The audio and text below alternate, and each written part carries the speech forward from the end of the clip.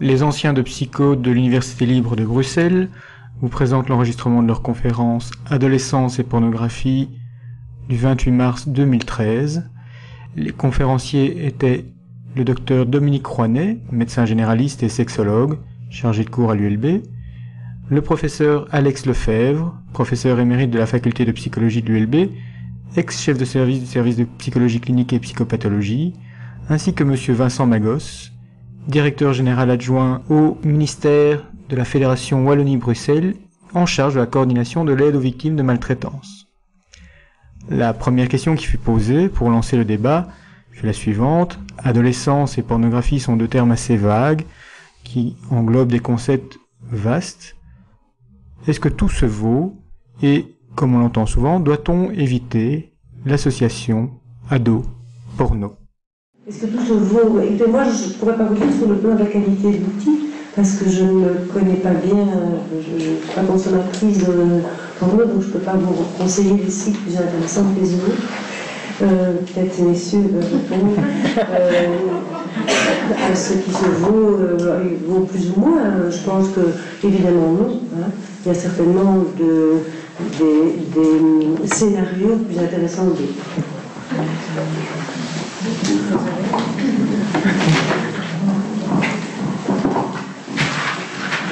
Euh, il y a probablement autant de raisons de faire euh, une association ado et porno que trois images et porno ou euh, euh, quinquagénaire et porno. euh, et moi je pense que c'est un problème, euh, ce genre de titre, qui reflète bien euh, ce qui circule dans les médias c'est euh, la terreur que l'on a par rapport à une sexualité qui serait euh, soi-disant euh, débridée à cause du porno et qui ferait en sorte que nos gentils adolescents seraient précipités dans un monde lubrique dont il faut absolument les garder.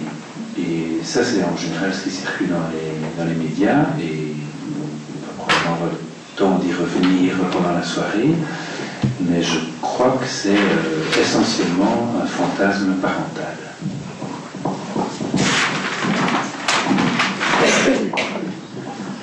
Alors, par la rime à je pense qu'il des questions que moi je verrais en tant que psychologue clinicien, c'est est-ce qu'il y a actuellement par rapport à cet accès plus libre, je dirais, je ne dis pas qu'il n'était pas, il n'y avait pas d'accès avant à une production relevant d'une forme de sexualité exposée, montrée, euh, euh, achetée, vendue. Euh, mais c'est vrai qu'il y a actuellement, semble-t-il, avec les nouveaux instruments qu'on connaît depuis quelques dizaines d'années, un accès tout à fait facile. Et la question qu'on peut se poser, c'est que l'adolescence n'est pas un moment banal dans l'évolution de tout un chacun, et en particulier de la vie psychique. C'est une remise en mouvement, en, en tension de une série d'éléments qui sont datés par euh, l'accès à la puberté et le passage manifestement à une forme de sexualité qui jusque-là était confinée dans ce que Freud appelait cette forme de perversion polymorphe que l'enfant pouvait vivre et qui relevait de toutes ses relations aux autres et en particulier à ses parents et en particulier aussi à sa mère au sens très archaïque du terme et qu'à l'adolescence, euh, il va devoir passer à un corps qui se modifie, c'est-à-dire que sa sexualité est identifiée par les autres d'une façon évidente, à travers les caractères sexuels secondaires, qu'il se réinterroge bien entendu sur son, forcément sur son identité, et à partir de son identité sexuelle, et qu'il y a donc là actuellement une espèce de, toile d'accès à ce qu'on peut appeler le, le pornographique. Euh, je me souviens d'un dessin humoristique il y a une trentaine d'années, je crois, euh, qui voulait faire la différence entre l'érotisme et la pornographie. Et le dessin montrait quelqu'un, euh, un couple derrière un divan, et l'érotisme c'était et la pornographie c'était ah Hein, Donc je pense qu'on pourrait y revenir là-dessus. La chose moi, qui me paraît in- interpellante éventuellement, c'est qu'il y a une, espèce de convergence maintenant dans, dans le- l'espace d'éducation entre, non pas une démission des parents, parce que ça on en a toujours parlé, il faudrait se euh, réfléchir un peu quand on sort des, grands moments de crise, euh, elles ont toujours existé, elles sont sans doute connotées de façon différente, mais c'est vrai qu'il y a peut-être là des choses nouvelles qui se passent dans la capacité dans notre société d'assumer cette espèce de confrontation à ce que sont les interpellations, les questionnements, voire très souvent les agirs des jeunes adolescents, en particulier des, des pubères, de cette forme de latéralité qui est beaucoup plus évidente et, beaucoup plus active aussi actuellement. Les, jeunes s'apprennent entre eux, ça a toujours existé aussi, je dis bien. Et donc il y a là fort probablement l'impact possible d'une forme nouvelle de prise d'information sur la sexualité. Et sans aller trop loin là-dedans, je voudrais juste dans un premier temps marquer ce qui moi me paraît important dans, dans la pornographie, c'est-à-dire que on, peut, situer l'adolescence en trois mouvements. Un premier, c'est un, temps pour voir, un temps de découverte, un temps de recherche, un temps de curiosité, un temps de pulsion scopique. Il faut aller voir. C'est le retour, manifestement, de beaucoup de choses de l'enfance qui viennent là-dedans. Puis un deuxième temps qui est le temps pour comprendre. Et là, il faut souvent être aidé, soutenu, euh, voire même éduqué. Et puis un temps pour agir, c'est-à-dire pour s'engager. Et je pense que l'engagement, c'est l'engagement dans une sexualité adulte sans oublier et sans trop refouler une sexualité infantile qui revient précisément avec tout ce que le rapport changeant avec les parents, de part et d'autre, parce que je pense que ce que Vincent Magos a dit, c'est peut-être les parents qui sont plus à, interpeller et vis-à-vis de qui il faut s'inquiéter peut-être par rapport à ça. Mais il y a là manifestement quelque chose de, particulier dans la pornographie, euh, qui est différent avec l'érotisme. L'érotisme, ça représente euh, une sphère psychologique, affective, euh, émotionnelle, euh, et, ça donne du sens. La pornographie, je pense que c'est une proposition de tout voir et une illusion de tout savoir sur le sexe, la sexualité et le rapport sexuel. Et si vous avez eu le souci, euh, historiquement, ou juste pour cette conférence, d'aller vous promener un temps soit peu sur les sites euh, accessible gratuitement partout, monde et n'importe qui. Hein, il suffit, euh, vous, savez que les choses là-dedans, moi j'étais pour voir euh, quelques éléments comme ça pour voir comment c'était depuis le temps où j'avais été y voir avant. Hein, vidéo porno streaming, c'est gratuit.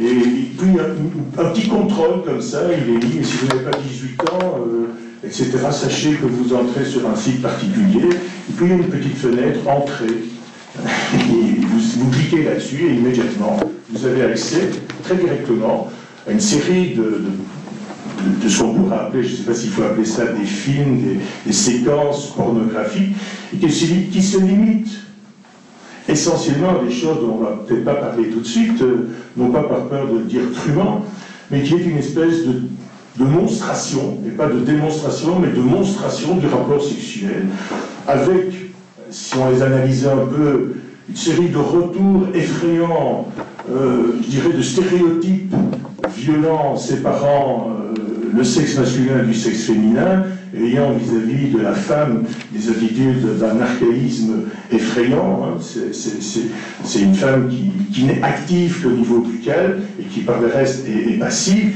et avec une espèce de, de, monstration manifestement de ce que serait le rapport sexuel. C'est une mise en aplat. Alors, sans, sans, aller plus loin, on pourrait retourner tout à l'heure euh, au gré des, autres questions, mais il y a là manifestement quelque chose qui me semble important par rapport en particulier à l'adolescent, c'est que l'image montrée telle qu'elle est une image qui n'est pas scénarisée. Il n'y a pas de mise en scène. Hein. Le, scénario des, films porno, les scénarios des séquences pornographiques sur le net, il n'y a pas de scénario, il n'y a pas d'histoire. Il n'y a même pas de nom de personne, ils n'éprouvent rien, ils ne disent rien, il n'y a, a pas de dialogue, il y a juste le rapport sexuel sous des formes terriblement répétitives, sous des formes parfois terriblement violentes aussi, en tout cas par rapport aux images réciproques qu'on met à, la disposition. Donc ce qu'on peut craindre là-dedans, pas craindre, mais ce sur quoi on pourrait s'interroger, euh, c'est manifestement comment l'éducation à l'image, et en particulier à cette image-là, doit être ou non prise en compte dans, l'éducation au sens large, au sein des familles d'une part et éventuellement ailleurs d'autre part. Parce que ce qui me semble moins inquiétant, enfin ce qui m'inquiéterait en tant que clinicien thérapeute à ce niveau-là, c'est que l'image vient figer le fonctionnement psychique sur une représentation qui n'a pas de sens, qui n'est pas historiquement définie, qui n'éveille rien d'autre que la perception, et c'est percevoir le rapport sexuel, en l'intégrant éventuellement comme un modèle qu'on pourrait savoir. Ce qui nous donne, bien entendu, fort probablement, quelque chose qui, moi, ne me paraît pas nécessairement trop inquiétant, parce que, comme je l'ai dit, à toute époque, on a été voir ces choses-là, se présenter sur des modus, différents, mais il y a toujours eu ça mais avec peut-être l'inquiétude que les, gens voient ces choses-là. Et j'allais voir une étude sur un nombre impressionnant de, jeunes adolescents, et le retour c'était qu'avant 13 ans, la plupart des adolescents, avant donc que la puberté vienne d'une certaine manière relancer et lancer euh, le questionnement du rapport à l'autre sur le mode sexuel, ils ont tous vu ces images-là. Hein, et la question, cette image-là, est-ce que c'est pour eux un modèle? Est-ce qu'ils entrent, est entrent dans la sexualité avec ce que moi j'appelle volontiers une forme d'instrumentalisation de la sexualité au sens des rapports, mais avec quelque part quelque chose derrière qui est quel est le sens qu'il peut y avoir derrière ces choses-là? Donc je dirais, dans un premier temps, c'est un peu le, fil questionnant pour moi, et qui est un fil typiquement d'un psychologue, bien entendu, qui, qui s'interroge sur qu'est-ce qui fait que dans la société, euh, les événements qui ont toujours été ceux qui sont ceux de l'adolescence, à savoir ce,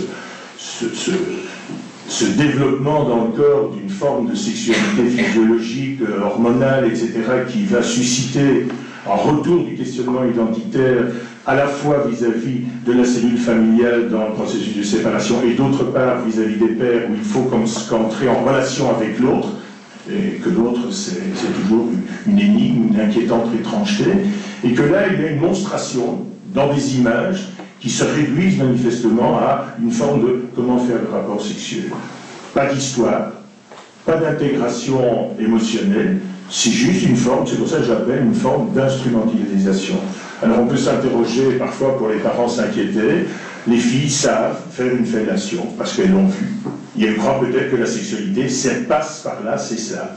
Il y a des adolescents qui viennent en consultation, pas chez moi, mais j'ai des collègues qui me l'ont dit, qui s'interrogent tout bêtement, je dirais, à l'adolescent sur mais où dois-je éjaculer? Parce que si vous avez regardé euh, ces, films ces, séquences, on éjacule dans la figure de la femme, dans la bouche de la femme, sur le corps de la femme, sur les seins de la femme.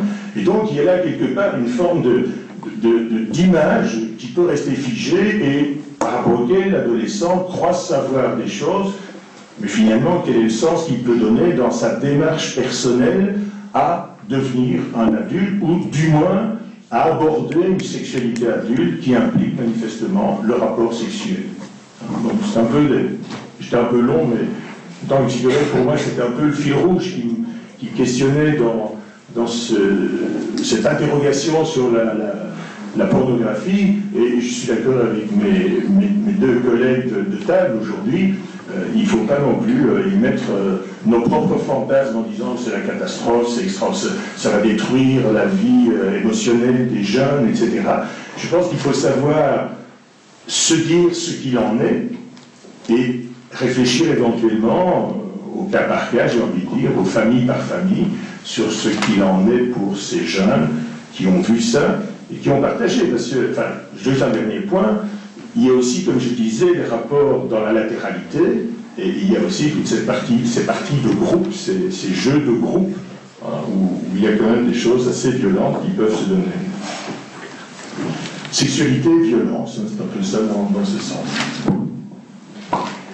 Euh, effectivement, une, des questions euh, que je partage, c'est euh, est-ce que la démonstration va rabattre quelque chose. Est-ce que ça va euh, couper les ailes du fantasme, euh, par exemple?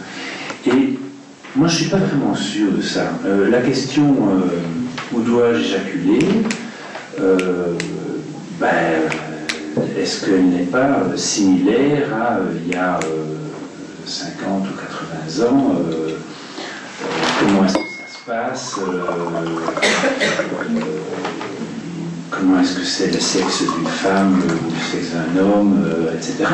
Au moment où il y a la rencontre avec l'autre, ben, il y a de toute façon euh, l'angoisse qui monte, euh, il y a de toute façon quelque chose qu'il faut faire avec le fait que l'autre, ben, il est autre et il est de toute façon pas comme, comme dans les films. Et là, moi j'ai le sentiment qu'il y a quelque chose qui est irréductible et qui fera en sorte que la rencontre amoureuse amoureuse un peu, beaucoup, pas du tout. de toute façon, il est chargé de cette part d'angoisse du fait que l'autre, il est autre et que ça ne sera pas une poupée gonflable, ni, ni un robot, du moins pas pour notre vieille génération.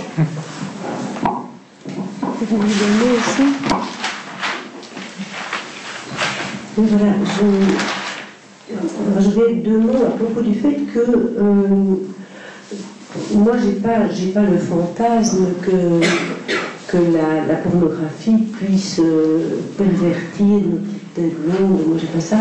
Je pense que la, pornographie, ben, c'est un outil terriblement efficace pour l'excitation sexuelle et que c'est pas par hasard que, que, que plein de gens y recourent, évidemment. Mais, c'est clair que c'est une excitation qui est sexuelle, c'est pas une excitation qui est émotionnelle. Et donc, euh, mais c'est quand même quelque chose de très efficace. C'est en tout cas ce qu'il y a maintenant. Euh, bah, avant, c'était des livres euh, qu'on achetait dans les stations-service ou bien avec des femmes avec des gros seins en dessous des cigarettes. Ou, avant, c'était d'autres trucs. Et avant, c'était des dictionnaires médicaux. il y a toujours eu quelque chose qui, permettait une excitation génitale, sexuelle. Quoi. Bon, ben maintenant, c'est ça. Voilà. Mais je, réduis beaucoup parce que je, suis d'accord évidemment avec ce qui a été dit, à savoir que ça peut complètement fausser la norme. Hein. Moi j'ai eu deux petites adolescentes la semaine dernière qui s'étaient visiblement euh, tenu les coups pour venir me consulter, elles avaient 14 ans à peu près, et elles venaient me voir parce qu'elles avaient une vulve qui était entre guillemets anormale. Alors ces vulves n'étaient pas normales du tout, elles avaient juste des, petites lèvres un peu charnues, comme à peu près la moitié des femmes ont des petites lèvres charnues, mais les images qu'on voit et qui sont les images qu'elles voient, parce que ce sont, euh, bon, pas regarder les vulves de leur copine, mais elles voient des vulves à sont des vulves lisses, rasées, euh, avec euh, des, voilà, des, vulves esthétiques. Hein. Vous savez que maintenant aussi, on est, enfin, il y a de plus en plus de femmes qui demandent des vulvoplasties. Mais j'ai aussi eu un, gamin qui avait peut-être 16-17 ans, c'était sa première relation sexuelle, qui est venu voir, qui était complètement angoissé, parce que sa petite amie avait des poils. Euh, voilà. Et donc, euh, bon, donc c'est clair qu'il y a autre chose, euh, il y a autre chose qui passe, de, manière extrêmement concrète. Hein. Mais sinon, pour le reste, c'est clair que c'est un outil d'une terrible efficacité sur le plan de l'excitation génitale, hein. sinon ça ne marcherait pas tellement bien. Je dire, en tout cas sur le plan commercial, on sait quand même bien que c'est une très grande réussite commerciale cette affaire-là. Hein. Mais si c'est une réussite commerciale, c'est parce qu'il y a des consommateurs aussi. Ils ne sont pas tous malades sexuellement non plus. Hein. Et je pense que parmi les adolescents, il y en a probablement moins qui sont malades que parmi les adultes qui, l'utilisent. Il n'y a pas beaucoup d'adolescents, ma connaissance, qui deviennent addicts. Et je pense aussi que la manière dont ils vont vivre va dépendre fort de ce qui a été leur éducation sexuelle et de ce qui a été leur construction, la, la construction de leur personnalité sexuelle au moment où ils vont commencer d'utiliser. Et ça, ben ça, ça va dépendre évidemment de tout ce qu'ils ont eu comme message, dit ou non dit, autour de la sexualité. La plupart des messages étant encore et toujours non dit, d'ailleurs, autour de la sexualité. Hein. Voilà. Euh, mais sinon, euh, moi, je pense qu'il faut faire avec et qu'il faut ouvrir surtout l'espace de parole avec eux autour de ça, parce que sinon, euh, voilà, ils vont vivre des trucs et puis qu'ils ne pourront pas partager avec les adultes. Ben, enfin, comme dans tous les domaines de la sexualité, je veux dire. Hein. Les ados, euh, les enfants les ados vivent des expériences sexuelles qu'ils peuvent souvent pas partager avec les adultes pour un tas de raisons, et le problème, il est là. Vous voulez encore? Peut-être des questions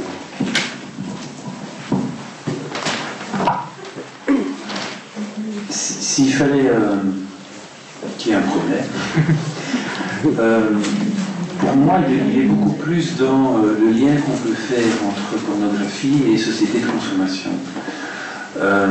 et il, est, il touche là non seulement les ados, mais les enfants, euh, les adultes, etc.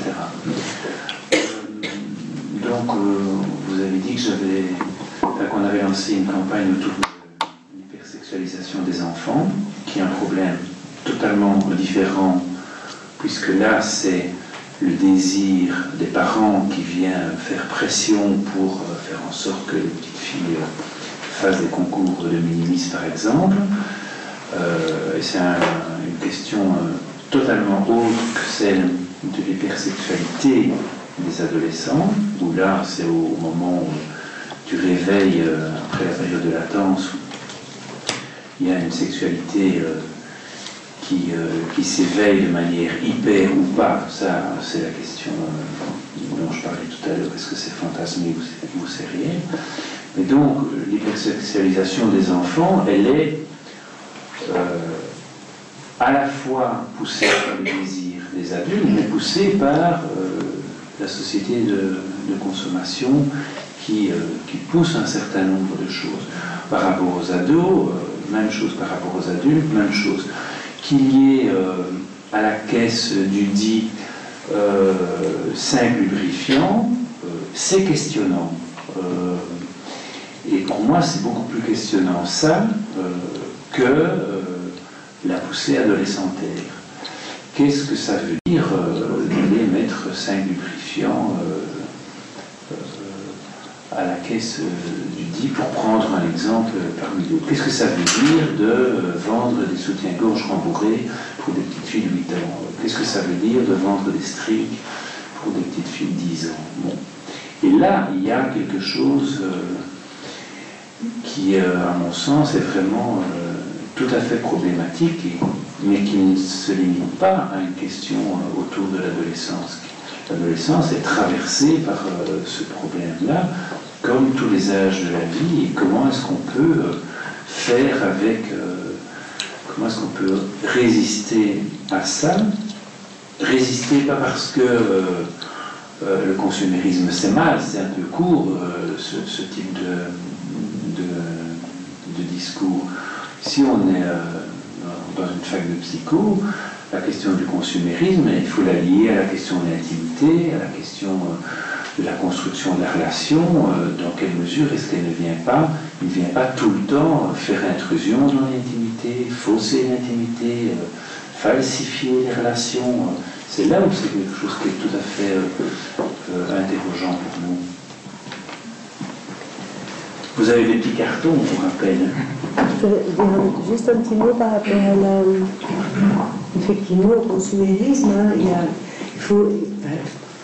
Je ne veux pas dire altruisme, mais la libéralisation du sexe n'a rien à voir avec la liberté sexuelle. Je pense que c'est même exactement le contraire la libéralisation du sexe, la marchandisation du sexe est une forme d'aliénation hein, qui n'a rien à voir avec la liberté, mais quelquefois on entend des gens défendre ça au nom de la liberté.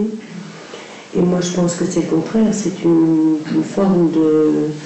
Euh, c'est une nouvelle norme répressive plutôt que, euh, que la liberté. Je suppose qu'on serait d'accord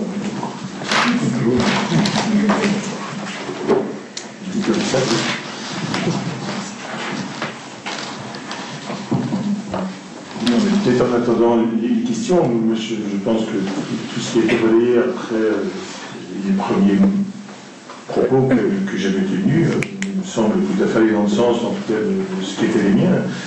Euh, il reste pour moi quand même quelque chose qui est peut-être, je pense surtout à ce que M. Magueux a dit sur le, caractère, je dirais, de, cette consommation d'objets, d'outils autour de la sexualité et qui renforce un peu cette forme de ce que j'appelais moi l'instrumentalisation. Mais le risque manifestement, c'est qu'il y ait pour des jeunes à un certain moment une confrontation assez violente avec ce qu'est le rapport sexuel. Vraiment l'image. Je ne crains pas qu'il y ait une espèce de, de refoulement massif de la vie fantasmatique, parce qu'on est là, je, ne pense pas que des images pornographiques soient à ce point traumatisantes qu'on reste pris par une image qu'on ne pourrait pas relancer, qu'on ne pourrait pas, auquel on ne pourrait pas donner un sens multiple et un sens pour soi. Mais il y a quand même une confrontation une forme de subjectivation de sa propre sexualité pour l'adolescent qui me semble quand même là être interpellé d'une manière très différente. Hein, euh, du temps de, je dirais, de mon adolescence, euh, on, allait tous acheter, bien entendu, euh, en livre de poche, La Monde Lévi Chatterley, et on se le passait avec, bien entendu, un signet là où il fallait lire, parce que c'est un gros bouquin et c'est très embêtant la suite. Mais ce qui me semble très différent entre des, images pornographiques agiles, c'est même pas une photo, hein, c'est pas le, Playboy qu'on avait bien entendu aussi dans sa chambre pour s'aider, euh, c'est très efficace. Mais c'est très efficace très souvent, et pour les adultes, et sans doute aussi en grande partie pour les adolescents, quoique on ne va jamais y voir de si près, pour, pour, la masturbation. Ça aide à la masturbation. Hein. Euh, là où on donne du sperme, on, laisse discrètement un, playboy ou quelque chose d'autre, et, vous avez parfois une infirmière qui vous dit euh, ça ira, hein, où il y a une confrontation avec, pour l'homme en tout cas, avec sa capacité à produire du sperme, on lui donne un grand pot hein, pour bien montrer qu'il y a une quantité qui est nécessaire.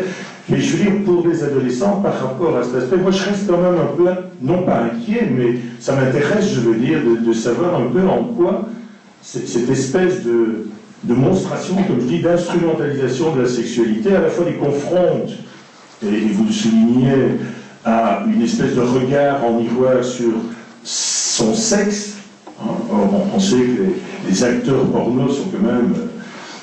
Il cet excellent film, enfin, moi j'avais trouvé excellent en tout cas, romantique de Braille qui abordait les, les choses, qui avait engagé justement le fameux Rocco Siffredi pour euh, entrer dans, ce travail sur le, ce, qui intéresse une sexualité de, la femme. C'est un très bon film pour interroger ces choses-là. Je pense qu'il y a quand même là quelque part quelque chose qui...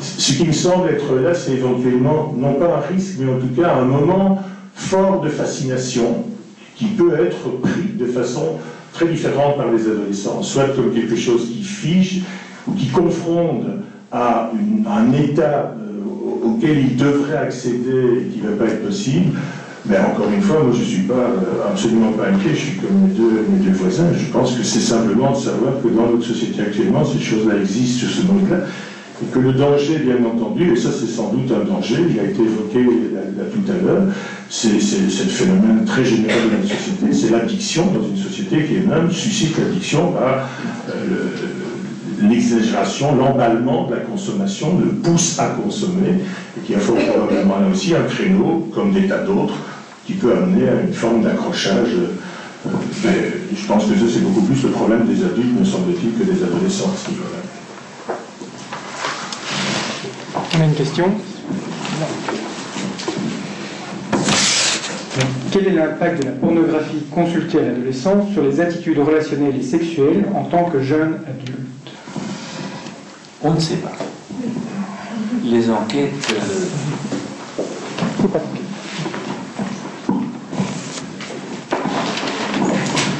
euh, on ne sait pas. Euh, à la fois parce que toutes les recherches sur les gens et la pornographie donnent des résultats en sens divers. Ça, c'est une chose. L'autre chose, c'est qu'il y a un certain nombre de recherches qui ne peuvent pas être faites pour des raisons éthiques sur des mineurs. Et donc il y a des questions qui ne peuvent pas être posées. Euh, donc euh, du coup on est dans, dans, dans le vide. Euh, d'une part. D'autre part, se dire qu'on travaillerait avec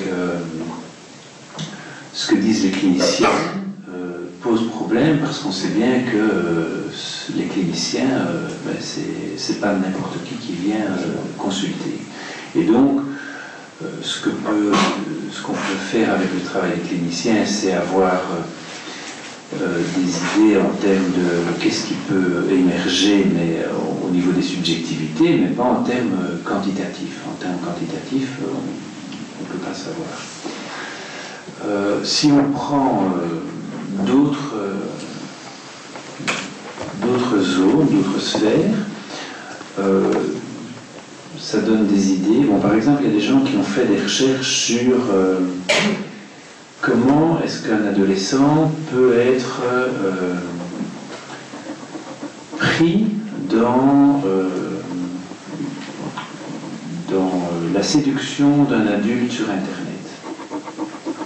Alors, est-ce que c'est -ce c'est un vrai risque que les adolescents soient séduits par des pédophiles ou, des, ou simplement euh, des adultes qui se feraient passer pour euh, des jeunes, etc. etc. Bon, alors là, en fait, on, se rend compte, quand on y réfléchit, on pourrait le trouver sans faire d'enquête, hein. on se rend compte que, voilà, il y a des adolescents à risque, qui sont en difficulté euh, affective et qui sont aussi bien à risque par rapport à ce risque-là que par rapport à la toxicomanie, que par rapport à la fugue, etc. Et que donc ça n'a pas de sens de faire de la prévention focalisée sur un thème, qu'il faut faire de la prévention euh, généralisée. Mais voilà, c'est quelque chose qu'on a déjà dit par rapport à la toxicomanie, on sait, on a eu des discussions par rapport au sida, euh, etc ça fait des années qu'on dit euh, la prévention doit être pensée de manière généralisée et pas secteur par secteur.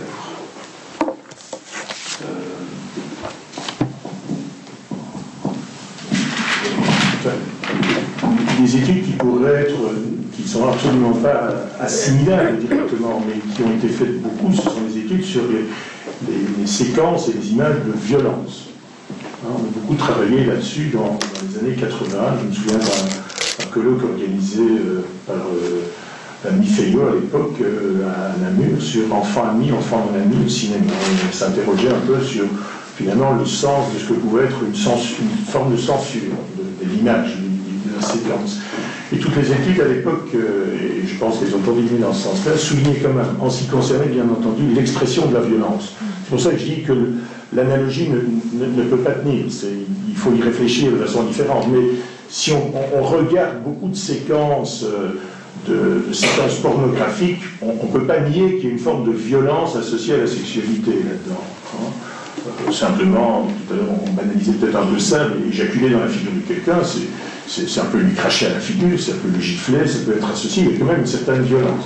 Pour toutes ces études allaient dans le même sens. puisque la, question était, est-ce que ce fait de montrer ces images permettait éventuellement euh, de, projeter de manière cathartique une violence qui nous embarrassait à l'intérieur et qui, qui, devenait supportée par l'écran et qui avait là quelque part une forme de, décharge euh, adaptative, je veux dire. Et l'autre question, c'était dans quelle mesure est-ce que la violence engendrait la violence et, je pense que toutes les études à ce niveau-là allaient dans le sens que la violence engendrait la violence. Alors, on aurait presque de dire, si, on, prenait du recul amusé et, de, mauvais goût euh, par rapport à ça que euh, les, séquences pornographiques permettraient éventuellement d'aborder la sexualité plus rapidement, en enclenchant les sexualités. Mais encore une fois, là, c'est une sexualité qui propose des, espèces de modèles, si pas d'idéalité, en tout cas des modèles, sur lesquels manifestement ça vaudrait la peine de réfléchir, non pas sur la, fonction sexuelle, mais sur les images qu'on donne des protagonistes, hommes et femmes, dans ces aspects-là. Et c'est aussi une dimension qu'il ne faut pas négliger dans, cet aspect-là, en sens de la consommation, c'est que c'est une consommation qui construit des images, si pas des stéréotypes, de l'homme et de la femme à propos du rapport sexuel, qui sont d'un archaïsme et d'une violence, je l'ai déjà évoqué tout à l'heure, mais je le redis ici, qui, moi, me paraissent quand même très tendancieuses et allant dans le sens d'un type de, relation quand même. Deuxième point, je voulais revenir un petit peu, c'est cette espèce de vision, de, penser, d'avoir l'illusion qu'on sait tout parce qu'on a tout vu, cette, cette forme d'illusion qui, peut pas occulte quand même quelque chose d'important, dépendamment de tout ce que j'ai évoqué rapidement sur la, psychologie de, l'adolescence, de la crise, comme on l'appelle habituellement de l'adolescence. Et, ça a été évoqué tout à l'heure aussi, c'est quand même un refoulement massif de l'intime dès lors qu'il y ait des gens, fussent-ils acteurs, qui montrent cette chose-là, donc qui, qui donnent une image de ce qui en principe est de l'ordre de l'intime, dans le sens d'un lieu où l'énigmatique, inquiétante étrangeté de l'autre doit être abordée en plus dans une problématique où on, essaye de se situer en tant qu'être sexué. Je pense qu'il y a là quand même quelque chose dans notre société, pas seulement de la, consommation, mais et qui montre les choses. Une phrase de Roland Barthes me revient après un voyage au Japon. Il disait au Japon, en Amérique, la sexualité est sur tous les murs.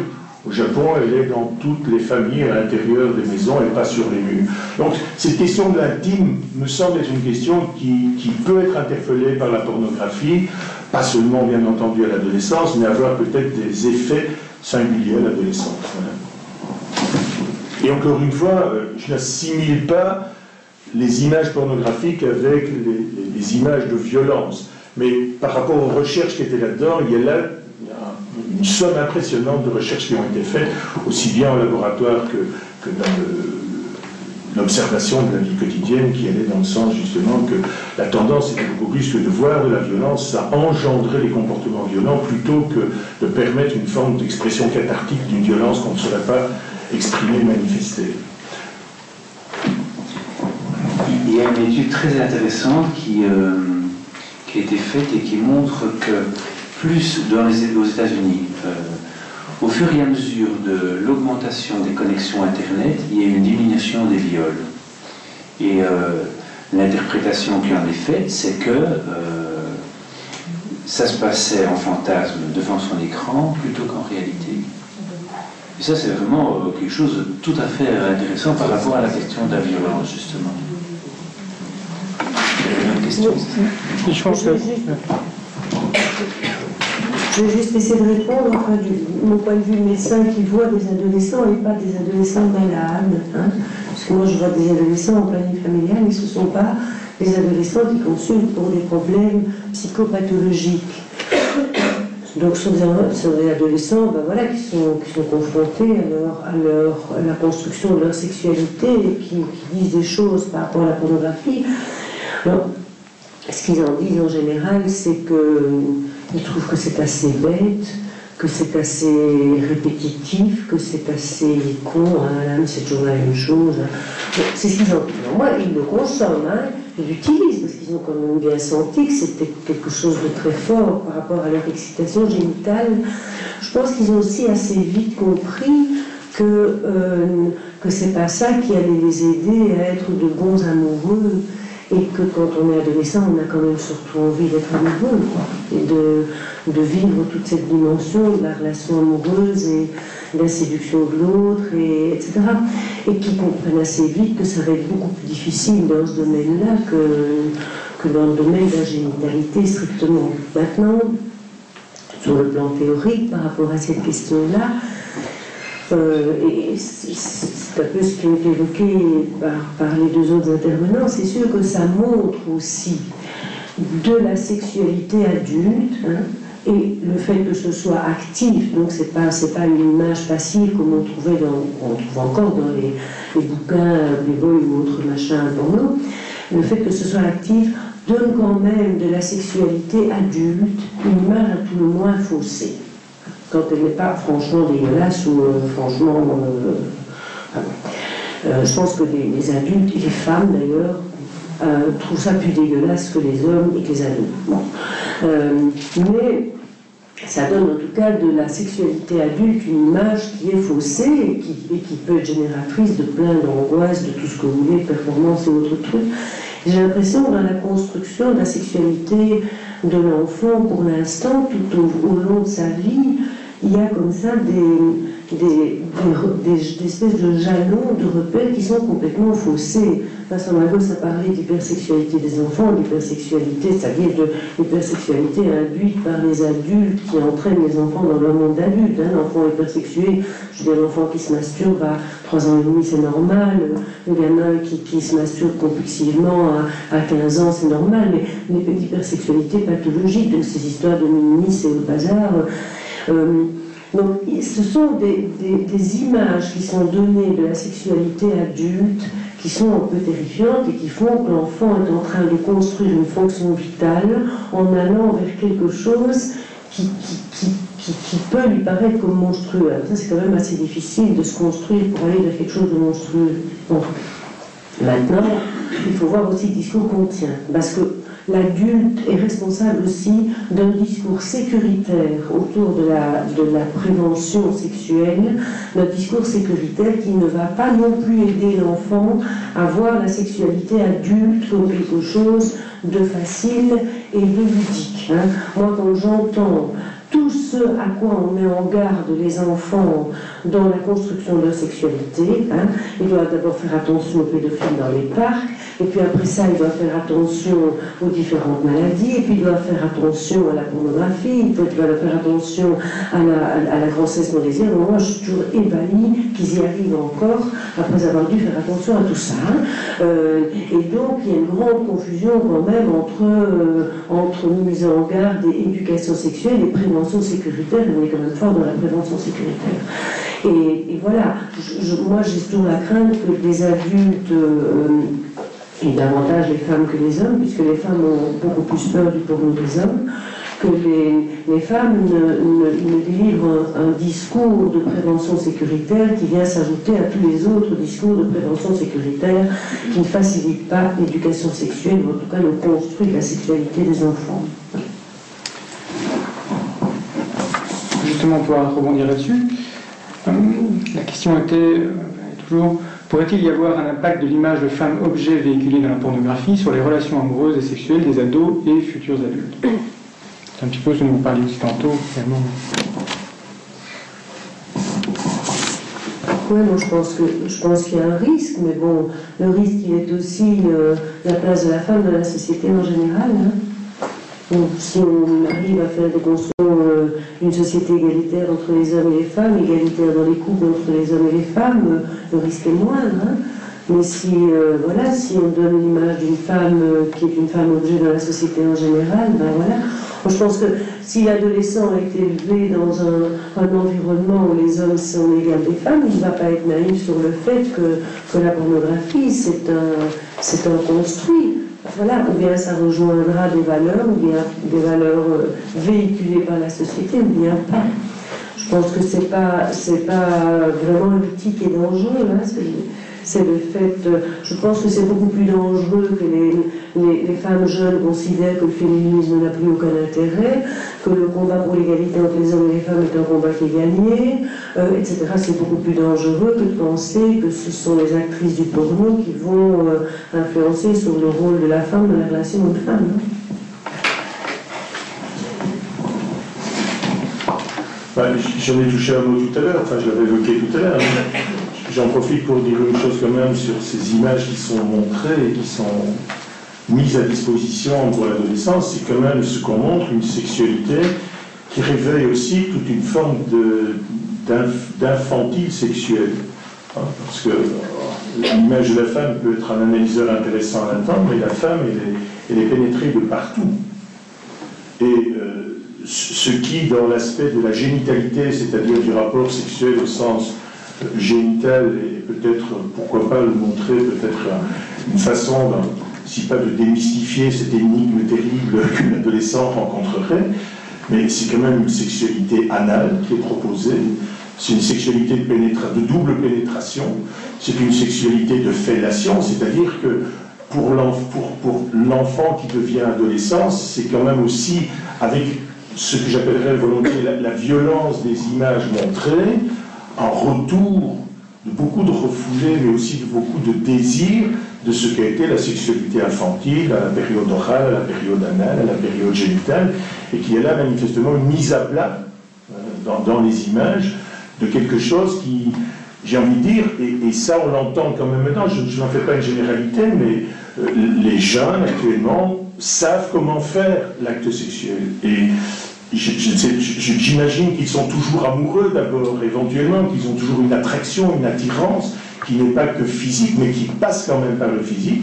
Et ce qu'ils mettent en acte immédiatement, cette espèce d'instrumentalisation performante et experte d'une sexualité, alors qu'avant, on sait très bien que le rapport sexuel dans un rapport amoureux et dans l'histoire d'amour de deux personnes ne viennent pas à la première séance à faire une double pénétration, enfin ce serait quand même difficile euh, qu'à deux, mais d'avoir fellation, pénétration anale, etc. Ce sont des choses qui éventuellement relèvent d'une fantasmatique qui d'abord doit exister au sens du fantasme. Je m'autorise à penser que j'aurais envie de pénétrer ma compagne par l'anus.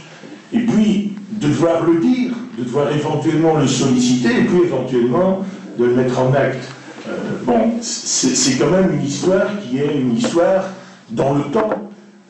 la question qui peut se poser, c'est dans quelle mesure est-ce que cette espèce de savoir-faire, proposer, montrer, est quelque chose qui modifie la sexualité Moi, je n'ai pas de réponse à ça, hein, ni en tant que clinicien, ni en tant que réflexion sur les, choses.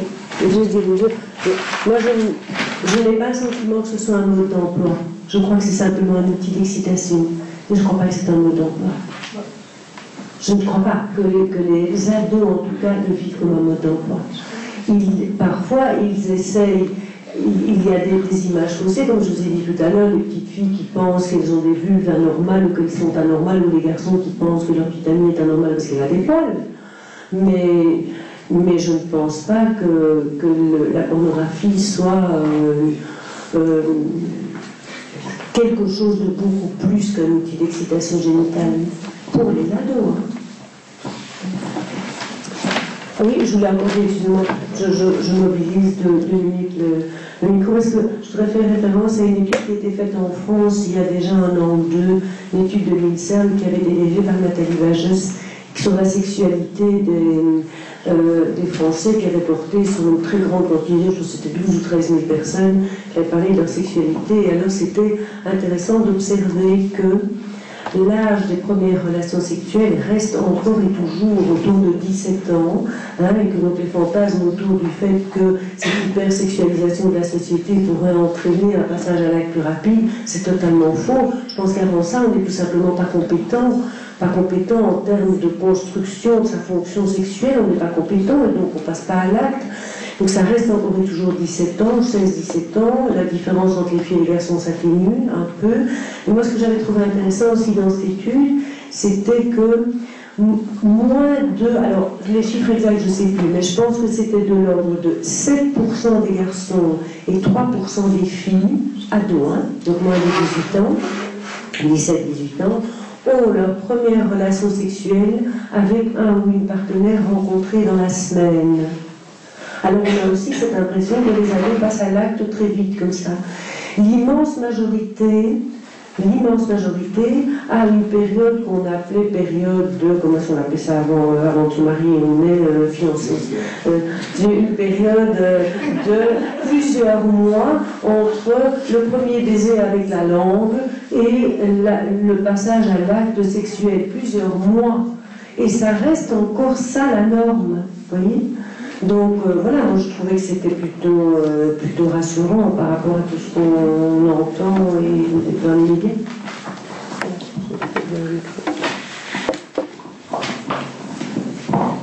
Je vous avais prévu une petite récréation. Euh, donc j'ai fait quelque chose qui n'est pas bien du tout, je me suis fait passer pour une jeune fille. Sur, Internet Sur Internet. C'est dégueulasse. enfin, c'est mieux que de se faire passer pour un vieux satire. Euh, on, a un, on, a un, site euh, qui s'appelle sandrine.be, euh, qui est un site de fiction qui existe depuis plusieurs années. Et Sandrine est une, une, adolescente qui a perpétuellement 15 ans et qui, une ou deux fois par semaine, poste un billet avec euh, ses problèmes amoureux, ses engueulades avec son père, euh, avec sa meilleure amie, etc., euh, etc. Et ça, c'est le site de, fiction, mais on ne sait pas très bien si les ados savent que c'est de la fiction ou pas, et probablement qu'ils s'en foutent. Et en plus, ils peuvent, eux, poster euh, leurs histoires, euh, se répondre les uns les autres, etc., euh, etc. Alors, ce qu'on a remarqué, nous, quand on nous a dit ça, on nous a dit, mais vous êtes complètement fous, c'est tout à fait casse-gueule qu'un ministère fasse ça, vous allez avoir des problèmes. Et on avait pris comme, comme point de départ, c'est qu'on laissait poster tout, quitte à supprimer après. Donc on avait mis en place des systèmes très sophistiqués qui font que dès qu'il y a quelque chose qui est posté, on le sait sur notre smartphone. Donc si je suis ici, je peux voir qui a été posté, etc. Je peux supprimer euh, euh, parce qu'on a un service juridique euh, très Et très vite, on s'est rendu compte qu'en fait, ben, c'était pas du tout ça qui allait se passer, et qu'il n'y avait pas de risque, et qu'on a dû euh, supprimer, euh, une fois tous les ans, on supprime un message qui pose problème, mais sinon, ben, ça se passe de manière extrêmement conviviale. Et ce qui est très intéressant, c'est que la question, si vous tapez sur Internet comment savoir qu'un garçon m'aime, eh bien vous avez Sandrine.be qui arrive en première référence sur Google, avec des choses euh, très euh, euh, sentimentales et très, très douces, très gentilles, etc. On n'intervient pas. on les laisse gérer. Et donc, pour la première fois depuis plusieurs années, j'ai fait quelque chose qu'on s'était interdit de faire. Et donc, je me suis dit, bon, puisqu'il y a ce débat, voyons un peu ce qui se passe quand on pose la question. Donc, le fil du débat, j'ai mis un premier message. Je ne sais pas très bien quoi faire, on se connaît depuis quelques mois. Il me propose de venir voir un film. Coquin, il a dit, sur son ordi, je fais quoi? Là. Donc c'est Euh, alors, quatre minutes après, tu lui dis OK, et puis il pourra t'avouer ses sentiments au travers toi. Quelques minutes après, tu dis non. Deux points d'exclamation. Tu ne sais même pas si ce garçon est sérieux, ce n'est pas ton petit copain ni rien du tout. Deux points d'exclamation. C'est une très mauvaise idée de venir voir ce film. Alors moi j'ai répondu oui, c'est mon petit copain, mais j'hésite quand même. Euh, 28 minutes après, donc ça va, ça va vite, hein, euh, je ne te conseillerais pas d'aller, tu ne le connais pas en plus. Deuxième réponse après, euh, si tu l'aimes, vas-y, mais si tu ne l'aimes pas, vraiment, c'est pas la peine. Alors, il y en a une autre qui intervient euh, sur la première, qui, qui dit anonyme, parce que c'était anonyme, il y en a qui signent, qui ne signent pas. Anonyme, tu dis n'importe quoi. Arrête de l'influencer et aide-la à bien réfléchir. Ne te laisse pas avoir la fin. Réfléchis bien. Euh, une minute après, il faut d'abord savoir combien, depuis combien de temps vous êtes ensemble. Combien de fois l'as-tu déjà vu Connais-tu ses parents Es-tu déjà allé chez lui? Oui, c'est euh, hyper raisonnable. Hein? Ils sont peut-être d'autres adultes. Pardon? Ils sont peut-être d'autres adultes.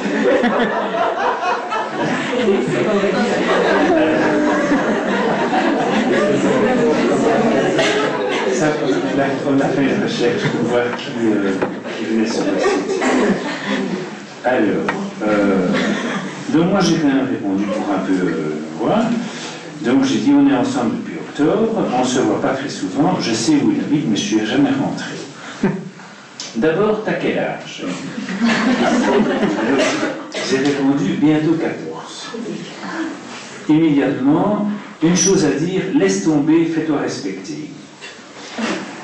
Euh, un peu après, un des gros problèmes des gars de cet âge-là, le mec ne pense qu'au cul, pour la plupart, et cherche à se faire plaisir en regardant ce genre, de, ce genre de film, mais c'est à toi de voir si tu es prêt à regarder ce genre de film. Si tu n'es pas prêt, dis-lui simplement tu n'es pas prêt pour regarder ce genre de choses. Et si tu hésites, demande à un adulte ou par toi-même, donne un aperçu, etc. Mais il vaut mieux refuser. Avant-dernier message, c'est clair qu'il pense qu'à ça, pas la peine d'y aller, mais si tu as envie, ne te force pas d'y aller. Alors là, j'ai essayé de rajouter un peu pour faire remousser, mais ça ne marchait pas. Donc c'était, euh, mais ce qu'il y a, c'est qu'il me plaît, et si je refuse, est-ce qu'il va me lâcher? Pas de réponse. Bon. Moi, je trouve que ça, euh, ça reflète bien ce qu'on. Il y a des enquêtes, euh, les mutualités socialistes ont fait une enquête qui était assez intéressante il y a, quelques années. Euh, je trouve que ça reflète bien le fait qu'ils savent ce que c'est, ils ont, ils ont vu, les enquêtes montrent qu'ils ont vu d'une manière ou d'une autre, que grosso modo ils trouvent ça dégoûtant, que grosso modo ils savent que c'est pas du tout comme ça que ça se passe dans la réalité, et que euh, tu as mieux à faire que euh, d'aller voir ce type-là. Et c'est. Voilà. euh, alors, est-ce que c'est d'autres adultes qui ont répondu? En général, on les piste très vite. Mais on a fait une recherche pour voir qui étaient les ados qui fréquentaient ce, site. Et c'est grosso modo ce qui, ce qui apparaît, c'est la, tranche 12-15 et pas la tranche au-dessus, qui évidemment n'est plus du tout dans ce, dans ce type de relation-là. Pas de rebond? Je vais y arriver. J'ai trois questions, mais il y en a deux qui, euh, qui, tournent à peu près autour du même sujet. C'est finalement la place du parent dans cette relation entre l'adolescent et euh, la pornographie. Alors, il y en a une par rapport déjà au fantasme finalement des parents. Hein. Est-ce que ce pas les parents qui voient le mal là où il n'y en a pas Vous en avez déjà un peu parlé. Euh, là où il y a un petit peu plus de, commun entre les questions, c'est quelle doit être la position du parent par rapport à la pornographie euh, vis-à-vis de ses adolescents euh, On a finalement comment est-ce que le, parent peut se positionner? C'est probablement une question qui revient assez souvent.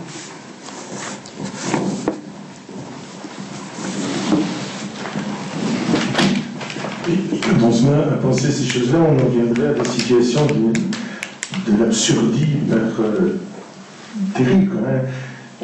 J'imagine qu'on pourrait imaginer que les parents un jour voient un film porno avec leurs enfants parce qu'ils parlent ce.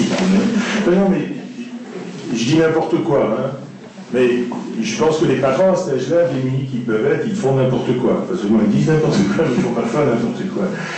Moi, j'ai l'impression qu'il ne faut pas voir dans la pornographie quelque chose de singulier dans le rapport parent-enfant. Je veux dire qu'il y a là une période qui est l'adolescence, que les parents de toute façon vont mal vivre, on croit qu'ils les vivent bien, les enfants pareil. Et c'est une histoire qui, dans, dans, l'après-coup, on se dira ça s'est plus ou moins bien passé, mais ça s'est plus mal passé. Et, pour certains, parfois un peu plus que certains, ça se passe mal avec des, manifestations symptomatologiques classiques qu'on connaît, cliniciens d'adolescence. Mais les choses que les parents à ce niveau-là, qui nous semblent confrontés, qu'il ne faudrait pas tomber dans, ce panneau de c'est quand même de, respecter une forme d'intimité. S'il y a bien quelque chose qui me semble être important dans la construction sexuelle, dans la, construction d'une vie sexuelle, d'une vie psychique sexuelle, hein, pas simplement de, comment on fait, alors comment on a un rapport sexuel, c'est une part, encore une fois, de, construction interne en termes de fantasmes qui vont s'associer à des pensées, qui vont aller se raccrocher à, des savoirs, à des voirs, à, des entendus, à des, choses telles que celles-là, et qui doivent prendre du temps. Hein, le, problème qu'on peut, avec lequel on peut s'inquiéter un temps peu, c'est un peu la, violence et, le fait de figer dans, le temps quelque chose qui ne pourrait pas devenir une histoire, serait répétitif, ça ne peut être que ça. Mais pour les parents, je dirais que la question auquel ils doivent rester, euh, la position qu'ils doivent avoir, c'est une position qu'ils peuvent avoir par rapport à, tout ce qui touche quelque part aux limites, aux interdits, et surtout à des éléments positifs de, redonner à leur adolescent confiance en eux, dans, la manière dont, ça se passe pour eux. Et par rapport à la sexualité, je crois que le respect, c'est un respect de leur intimité, et éventuellement, dans le secret, on a tous vécu ce, truc insupportable des parents qui disaient des lettres de correspondance en certains temps, et qui éventuellement maintenant... Euh, parce qu'ils peuvent maîtriser la technologie, vont voir les mails de leurs enfants ou vont même voir ce qu'ils voient. Alors bien sûr, on vous dira, il y a des clés possibles, comme il y a des clés sur la télévision, on ne peut pas voir les films euh, porno sur euh, Canal Plus en son temps, etc. On pouvait mettre une clé, parents on pouvait mettre une clé. On sait très bien qu'il y a toujours des parents qui, l'oublient, on va voir chez les copains. moi, j'ai l'impression là-dedans je ne sais pas, hein, mais au point de vue éducatif et rapport par enfant, je ne trouve pas que la pornographie soit un point tellement singulier, particulier, euh, qui, poserait des questions euh, importantes et, urgentes dans le rapport parent-enfant à l'adolescence, je crois. Maintenant, je pense que c'est toujours la même chose. J'ai l'impression qu'il y a des parents aussi, euh, je ne sais pas comment vous avez vu votre histoire, mais tous les parents se disent oui, il faudrait quand même que je parle à mes enfants de la sexualité parce que, etc les préservatifs, la contraception, à partir d'un certain moment, tous les dangers qu'il y avait avant, tous les risques qu'il y avait avant. Et puis finalement, je ne suis pas sûr que les parents en parlent, ils pensent qu'ils vont devoir en parler, et puis ils disent, bon, on fera ça demain. Et le jour où ils en parlent, c'est leurs enfants qui leur apprennent comment on fait et comment ça se passe maintenant. Donc il y a là un rapport qui me semble intéressant. L'adolescent en, trompant, hein, en contournant ses parents, c'est aussi une façon pour lui de devenir adulte. Hein, euh, et qu'il y a là, dans, cette espèce de rapport nouveau qui s'établit entre eux, des secrets qui sont portés par les uns et par les autres. Euh, je pense que les parents n'en sont pas arrivés à faire une démonstration à leurs enfants de ce qu'est un rapport sexuel en faisant pour eux-mêmes, non pas un, film porno, mais un théâtre pornographique. Mais on pourrait imaginer qu'il y en a qui sont aussi déglingués que pour aller jusque-là.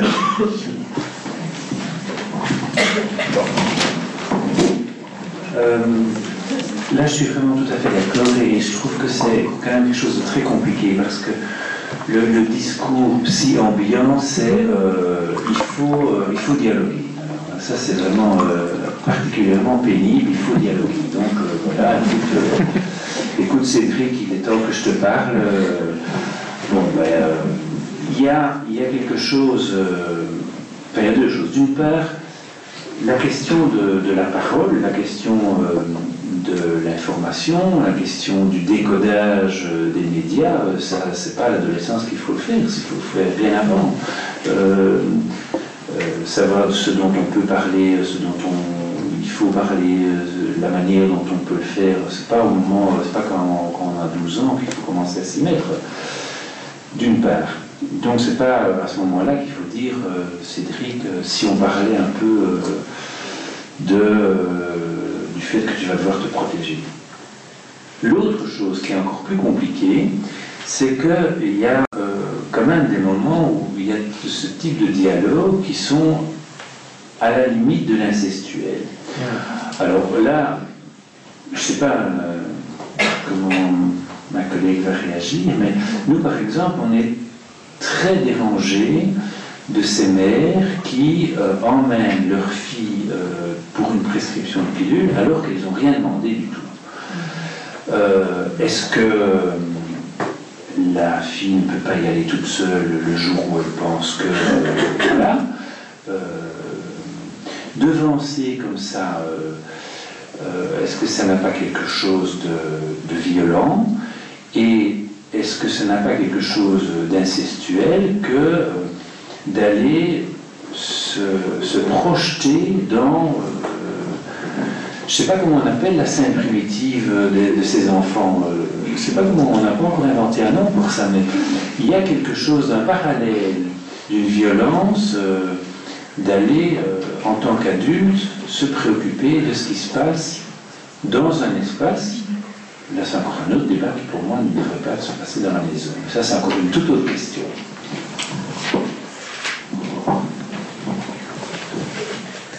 Oui, alors moi je suis assez d'accord que c'est très énervant des parents qui veulent euh, expliquer à Cédric comment ça va se passer, comment il va se protéger.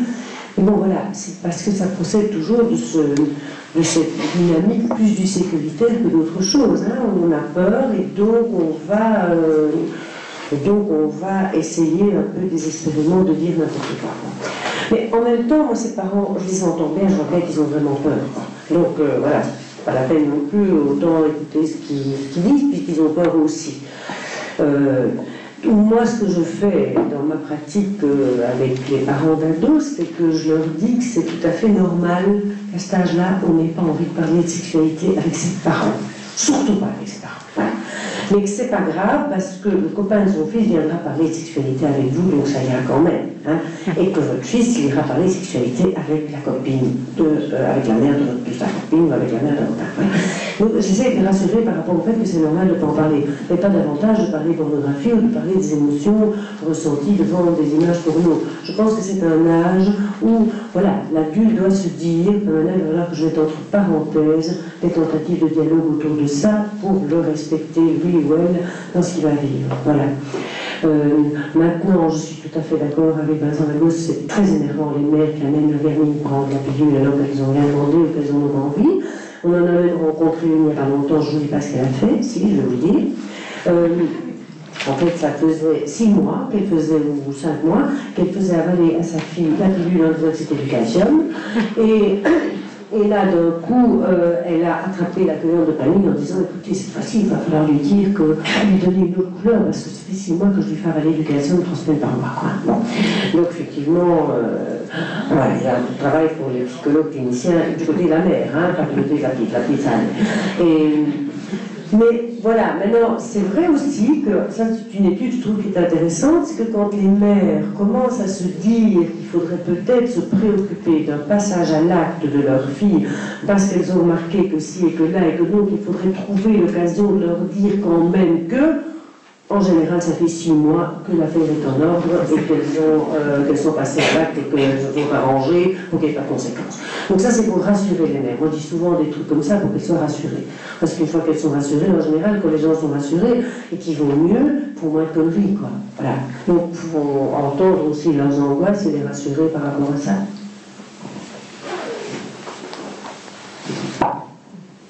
Je suis rassuré. une des questions finalement, c'est est-ce qu'entretenir le lien entre pornographie et violence dans les débats, un petit peu comme on le fait aujourd'hui, euh, ce n'est justement pas ce qui encourage les fantasmes parentaux de danger pour les ados euh, Moi, c'est vrai que quand euh, je pensais à ces premières questions, je me suis dit, mais on sous-entend quasiment de fils qu'il y a un problème entre ados et Je sais pas si... Maintenant, la sexualité, euh, c'est quand même quelque chose de violent. Hein. Dans la sexualité, il faut pouvoir érotiser aussi la violence. Hein. Les fantasmes de violence, c'est des fantasmes réels dans la sexualité. Hein. Les fantasmes de violence, les femmes, elles ont des fantasmes de viol. Fantasmes, je dis bien. Hein. C'est pas, angoissant, le fantasme de viol, un rêve, c'est beaucoup plus angoissant parce qu'on ne contrôle pas. Enfin bon, le fantasme de viol, c'est quand même un fantasme courant euh, chez les femmes. Donc, euh, donc voilà, la, sexualité, c'est aussi pour une femme érotiser la violence et pour un homme aussi. Hein. il ne faut pas nier cette, euh, cette dimension-là dans la sexualité. Alors, pour autant que c'est pathologique, et je pense que les, spécialistes mettent bien la limite dans ce qui est pathologique et pas pathologique. Enfin bon, voilà, c'est quand même. Euh, quelque part, érotiser, euh, la violence, se, masturber devant un truc, euh, euh, voilà, un truc pour nous, peut-être comme disait la Samagos, que ça éviterait de passer à l'acte après, mais je sais pas, en tout cas c'est ce que j'ai entendu, qu'il disait tout à l'heure par rapport au nombre de gens qui se raccordent à Internet et, à la diminution corrélative du nombre de passages à l'acte de violence, de viol. J'apprends de lecture. Bah, un médecin, normalement, ça c'est ah, que pensez-vous? Que pensez-vous? Les campagnes de lutte contre le sida qui. Je ne suis pas Que pensez-vous des campagnes de lutte contre le sida qui. Qui a, fait la, qui a écrit la question C'est moi qui ai écrit la question. En fait, voilà. je m'interrogeais par rapport à toutes ces campagnes qui sont faites par les formes de santé, promotion de santé à l'école, et qui, au, nom de la lutte contre le, sida, amènent à distribuer, lors des visites médicales, dans les écoles, des préservatifs euh, déjà 12, 13 ans, à toute la classe, euh, sans qu'on ait rien demandé, voire expliquer comment mettre le préservatif je, vais vous répondre parce que c'est nous qui faisons ça en fait. Hein. Et donc, euh, euh, en fait, quand ils ont l'âge d'utiliser le préservatif comme un préservatif, ils l'utilisent comme un préservatif. Avant, en général, ils l'utilisent comme un ballon. Donc, ils les remplissent ils jouent avec quoi. Voilà. Euh, donc de toute façon, ça a une fonction. Et le jour où ils, l'utilisent comme un présent, comme un préservatif, ben, on est bien content parce qu'ils en ont. En fait, voilà. Alors effectivement, c'est une question. Est-ce que, encore une fois, ça va précipiter? Est-ce que si Est-ce que là Est-ce que ça va inciter? Non, clairement non. Euh, par contre, euh, les campagnes d'éducation sexuelle affective dans les, écoles qui ne sont pas suffisamment faites et qui devraient être faites encore beaucoup plus largement, de manière beaucoup plus institutionnalisée, euh, doivent être faites de manière adéquate aussi, encore une fois. Et parler sida des adolescents, je ne parle pas des adolescents qui arrivent d'Afrique éventuellement, qui sont victimes d'un passage vertical de la maladie. Mais la plupart de nos adolescents, ils ont 0% de chance à peu près d'attraper le sida. Alors, ce qu'ils nous disent, c'est qu'il faut arrêter de nous emmerder avec le sida. Vous comprenez Donc, euh, évidemment, il faut arrêter de nous emmerder avec le sida. Hein. Euh, voilà, d'autant qu'il y a quand même d'autres MST beaucoup plus contagieuses et beaucoup plus fréquentes que ça. Mais si on distribue les préservatifs dans les écoles, c'est pour les familiariser à, l'outil, à l'utilisation de l'outil, et, voilà. Et moi, je pense que c'est bien. Je pense que c'est quelque chose d'utile et d'efficace et qu'il devrait y avoir des distributeurs automatiques de préservatifs partout.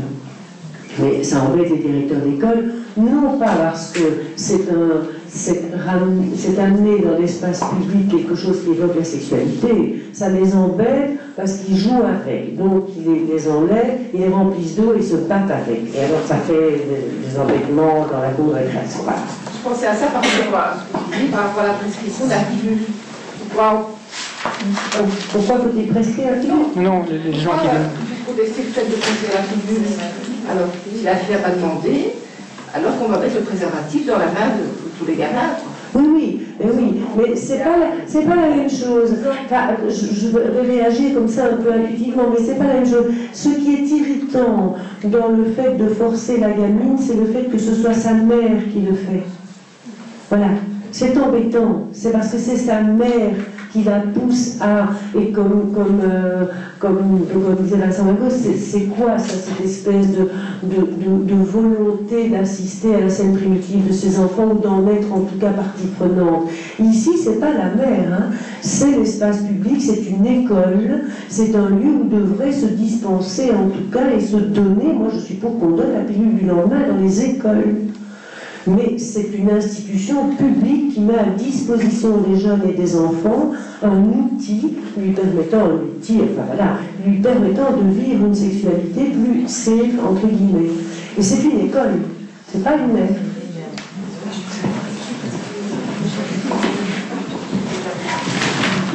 Euh, il, faut, aussi placer ça dans, dans l'histoire de, de, la sexualité. En fait, c'est quand même assez récent, cette euh, l'image du préservatif.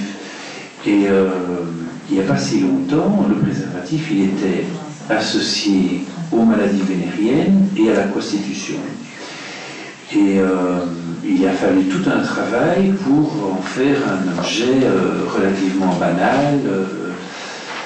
et voilà, peut-être qu'il faut euh, qu'on peut, repenser les choses aujourd'hui, mais il n'y a, pas si longtemps, c'était euh, l'image du préservatif était vraiment euh, très très très mauvaise et donc du coup très mal acceptée et donc du coup difficile à, utiliser par les adolescents. Voilà, maintenant il y a d'autres choses. On, s'imagine, bon, il faut savoir qu'un préservatif, c'est pas, pas évident pour un homme, de, au début, de savoir comment l'utiliser parce qu'il y a un sens. Alors, est-ce que apprendre ce sens dans les écoles, est-ce que ça a du sens? Ça, moi, je ne suis pas sûr du tout parce que de toute façon, la rencontre amoureuse, elle fout le bordel là-dedans et euh, de toute façon, c'est compliqué. Voilà.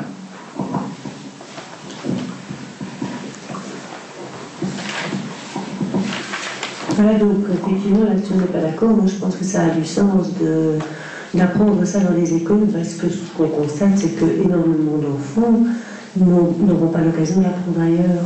Mais c'est un fait que la relation amoureuse va. c'est de toute façon ce qu'il y a de plus compliqué toujours tout au long de la vie. Je veux dire, la relation amoureuse, y compris à l'adolescence.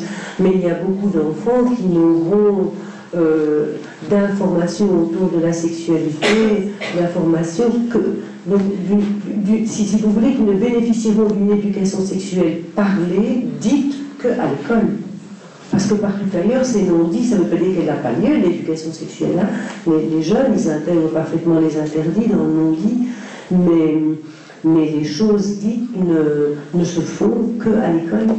Et le fait que l'école cautionne cette, euh, cette forme d'éducation me semble quelque chose d'important. Parce que l'école est. Euh, on est d'accord. Moi, je ne prendrai pas position à, ce niveau-là, parce que je n'ai jamais, jamais, été en première ligne. J'avais, son temps, euh, participé à la production à la RTBF d'une série de films qui s'appelait Histoire d'amour, Histoire au pluriel d'amour, au moment du, début du sida. Moi, je pense que le sida est je veux bien être d'accord des deux côtés des propos qui ont été mis là, mais le sida a quand même eu un impact, me semble-t-il, très important par rapport à des choses dont nous discutons, nous débattons aujourd'hui, c'est que le sida a rabattu la sexualité sur le rapport sexuel et que l'apprentissage euh, indispensable éventuellement de pouvoir utiliser de manière efficace un préservatif ramène quand même la sexualité à ce niveau-là sur l'acte sexuel. Et derrière ça, il y a un paysage qui est, pour moi, aussi violent que le rapport sexuel. Et on parlait beaucoup de violence de la pornographie. Moi, je crois qu'à l'adolescence, il y a une violence sentimentale. Il y a l'échec sentimental, il y a, le fait qu'on a des, émotions terribles qui, envahissent l'adolescent vis-à-vis de l'autre, que l'autre euh, est, cruel. Enfin, les adolescents, ils sont encore dans l'enfance en partie, il y a une cruauté de la sexualité au sens sentimental, au sens affectif, au sens émotionnel, qui me semble aussi violent, en tout cas si pas plus, que le fait de voir une séquence de films pornographiques qui se ramène à, la au rapport sexuel, qui n'est jamais finalement qu'un comportement. Et si, au début j'étais intervenu dans ce sens-là, c'était aussi pour montrer que le rapport sexuel, c'est un comportement et que la sexualité, c'est des tas d'autres choses. Et que tout, réfléchir à la sexualité en, rabattant ça essentiellement sur le rapport sexuel, dans la perspective du sida, je pense qu'on ne peut pas ne pas faire ça, ne pas se préoccuper de ça, et c'est pour ça qu'il y a là quelque part de l'ordre d'une forme de prescription. Maintenant, qu'on l'oblige, qu'on la propose, qu'on la facilite dans le niveau scolaire, c'est-à-dire au niveau de l'éducation de base, une forme d'éducation civile. Moi, j'ai eu l'habitude depuis ce temps-là dans les auditoires, à un moment ou l'autre dans mon cours, de demander est-ce que vous avez fait un test pour savoir si vous êtes séronégatif ou séropositif? Parce que je pense que c'est une responsabilité individuelle à ce moment-là, dès le moment où on a su ce qu'il en était du sida, de se dire je prends mes responsabilités par rapport à, cela, et d'une même façon, je prends mes responsabilités lorsque j'ai des rapports avec quelqu'un avec qui je n'ai pas une relation suffisamment de confiance pour pouvoir savoir si elle ou lui est séronégatif et qu'il n'est pas quelque part un, danger potentiel par rapport à, ce qu'il en est. Mais la, chose que je voulais souligner, c'est qu'à l'adolescence, en tout cas, euh, ado porno pourrait dire ado histoire d'amour et une violence terrible sentimentale qui, est vécue. Et les gens qu'on retrouve très souvent, les ados qu'on retrouve souvent en consultation, c'est aussi des adolescents qui ont des histoires de rupture, d'histoires d'amour en rupture, et ils sont mal, et ils se dépriment, et ça ne va pas, ils n'ont plus confiance en eux, et il y a des choses qui ne sont pas essentiellement limitées à la notion même du rapport sexuel. Cela étant, un premier rapport sexuel, bah, on va dire, euh, je ne sais pas quel est le pourcentage c'est c'est quand même un échec euh, assuré, assuré. Et ce qu'on oublie surtout très souvent avec le rapport sexuel, et c'est dans cela éventuellement qu'on pourrait recommencer la discussion sur la pertinence ou non de voir un film pornographique, c'est qu'on oublie que c'est un apprentissage. Et c'est un apprentissage qui se passe à dehors. On est parfois, dans le contexte même de ce que propose, de ce que montre euh, les, films pornographiques dans une forme de sexualité agie, multiple, avec des partenaires différents, et qui, n'intègrent pas nécessairement ça dans la vie affective euh, des protagonistes d'une relation amoureuse. Hein. Commence, fut-elle commencée par un coup de foudre, euh, un état amoureux massif, violent, passionnel, etc., et qui fait que fort probablement là, qu'on ait appris ou non à mettre un préservatif, j'imagine qu'on n'a pas toujours, même à l'âge adulte, le moment de retrait où on va se dire, bon, il ne faudrait pas oublier cela. Et c'est en cela, je pense, que le sida a ramené dans la vie sexuelle quelque chose, je dirais, un artefact important, qui à un certain moment, là où on est sous le mode des passions, euh, des sentiments, des affects, tout à coup, il faut ramener la raison pratique, pragmatique, il faut mettre son préservatif. Ou il faut s'engager dans une relation de confiance. On établit avec l'autre quelque chose qui permet d'être en confiance et d'être en sécurité. Mais je voulais ramener ça sur la question, semble-t-il, de la violence. Il n'y a pas que dans le rapport.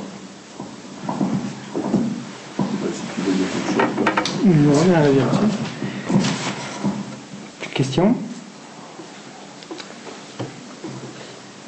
Moi, je fais cours de questions là maintenant, donc s'il y en a qui ont encore. Euh, qui n'ont pas voulu écrire, qui veulent prendre la parole Non Peut-être l'impact différent de la pornographie sur les garçons adolescents et sur les filles adolescentes Parce qu'au fond, avec la vie, vous voyez beaucoup de filles. Pour les garçons,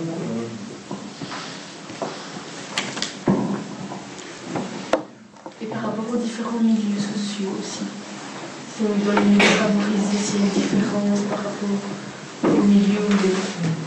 Pour les milieux défavorisés, ben, les milieux favorisés, généralement, sont plus polis que les milieux défavorisés. Plus propres. Mais ils font la même chose. Voilà. En gros. Peut-être au niveau des différences culturelles, au niveau social, mais aussi culturel, les différences. Bah, à Bruxelles, c'est quand même. Bruxelles, effectivement, c'est très multiculturel. hein. Oui, ça c'est très multiculturel. On va d'abord les filles et les garçons. Moi, je pense que ben, il y a quand même une grande différence entre les filles et les garçons par rapport à la sexualité, c'est que les filles, les, gar- les garçons, ils vont recevoir à la puberté, euh, comme un cadeau du ciel, des émissions spermatiques nocturnes, et puis après ça, l'éjaculation et l'orgasme à peu près en même temps.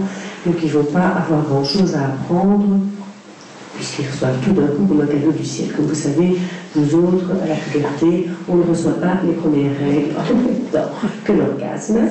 Et donc, il va falloir un peu de temps pour euh, apprendre la sexualité féminine, contrairement à la sexualité masculine. C'est un temps d'apprentissage long et parfois même qui prendra une vie, et puis parfois même où on n'arrivera jamais à savoir ce qu'on a envie, ce qu'on veut, comment on fonctionne, etc. Et donc la femme doit apprendre à, bah oui, à apprendre ce qu'elle est sexuellement, elle doit apprendre à érotiser son vagin, comme on dit, elle doit apprendre plein de choses autour de, sa sexualité pour arriver, dans le meilleur des cas, à un orgasme, mais pas dans 100% des cas, comme vous savez sans doute. Le garçon, lui, ben, il n'a pas grand-chose à apprendre, puisque ça lui est venu d'un coup, euh, encore une fois, comme un don de Dieu. Ah non, pas ici, comme un don du ciel.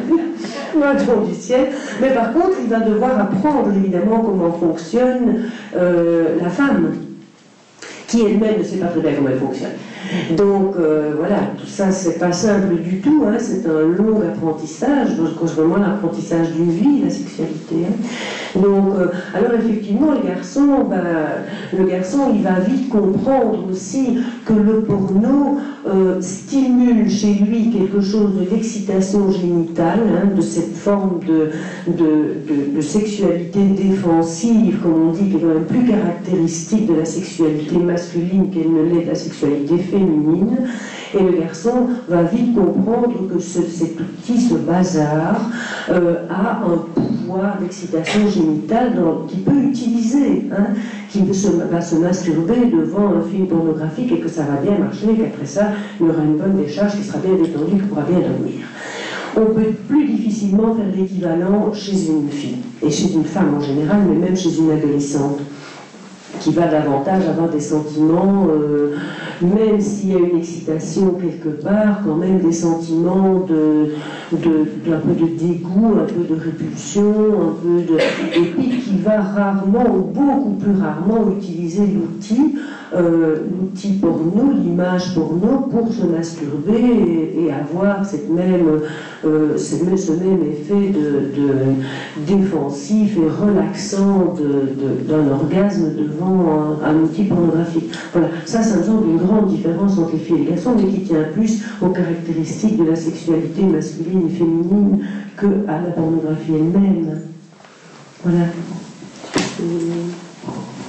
Non, je m'apprends, mais. La Euh, bah, que ça vient du ciel, par exemple. C'était quand même une épreuve euh, dure. J'ai l'impression comme ça que c'était aussi simple que ça. Non, mais parce qu'on traite d'histoire. euh, par rapport à la question sur les différences sexuelles, là, j'ai un retour d'une activité de supervision dans, un planning comme ça.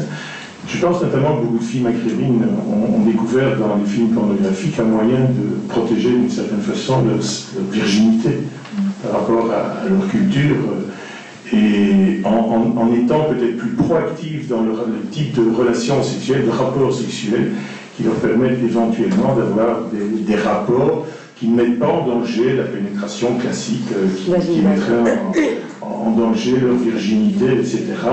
Et l'activité de fellation et de pénétration anale est quelque chose qu'elles ont vu et qu'éventuellement elles, trouvent le moyen, là, un moyen de protection, je l'appelle comme ça entre guillemets, euh, par rapport à leur virginité. Mais je n'en ferai pas une généralité, euh, ce sont quelques cas comme ça que j'ai eu l'occasion d'entendre dans des séances de supervision avec personnes travaillant dans, un planning ici à Bruxelles et qui soulignaient manifestement. Maintenant, est-ce qu'elles ont appris ça en voyant des films pornographiques? Ça, ça, je ne saurais pas. Sur la question de la différence euh, homme, enfin garçon et fille par rapport à ça, je peux m'imaginer qu'avec les difficultés que euh, le, médecin d'à côté m'a déjà énoncé sur la sexualité féminine, et, je l'accompagne assez bien là-dessus. Je pense qu'il y a là une espèce de... J'ai souligné tout à l'heure qu'il y avait un apprentissage. C'est pas un apprentissage au sens classique comme on apprend à lire ou à écrire, mais c'est quand même quelque chose qui doit, d'une certaine manière, se métaboliser dans, un, dans une historicité, dans une période. Hein, ça, ça, ne peut pas venir tout seul. C'est pour ça que je ne suis pas tout à fait d'accord avec le garçon, même si lui, ça semble fonctionner un peu de façon magique il y a quand même tout l'autre apprentissage, et pas simplement l'apprentissage de comment ça se passe chez une fille, hein, dont on ne saura d'ailleurs jamais si on lui procure une jouissance ou si quelque part euh, elle a servi à ma propre jouissance, point, euh, et je, ne sais pas plus, et qui est là manifestement dès lors que cette relation est une relation pleine, c'est-à-dire impliquant des sentiments, des affects, des émotions, quelque chose qui est aussi, soit pour certains de l'ordre de je suis capable de la faire jouir, ou sur d'autres de se dire je veux partager quelque chose, et il y a là une difficulté qui est parfois aussi évidente, semble-t-il, chez les garçons. Maintenant, par rapport au film pornographique, j'ai quand même l'impression actuellement qu'il ne doit pas y avoir, indépendamment, me semble-t-il d'ailleurs, des, des milieux socio-économiques, de grosses différences. Maintenant, peut-être qu'on dira l'inverse, entre euh, la proportion de garçons qui, qui utilisent, qui, consomment du pornographique et des filles. Je pense que les filles font ça aussi. Les, soirées pyjama, c'est pas nécessairement pour regarder Martine à la plage ou quelque chose comme ça.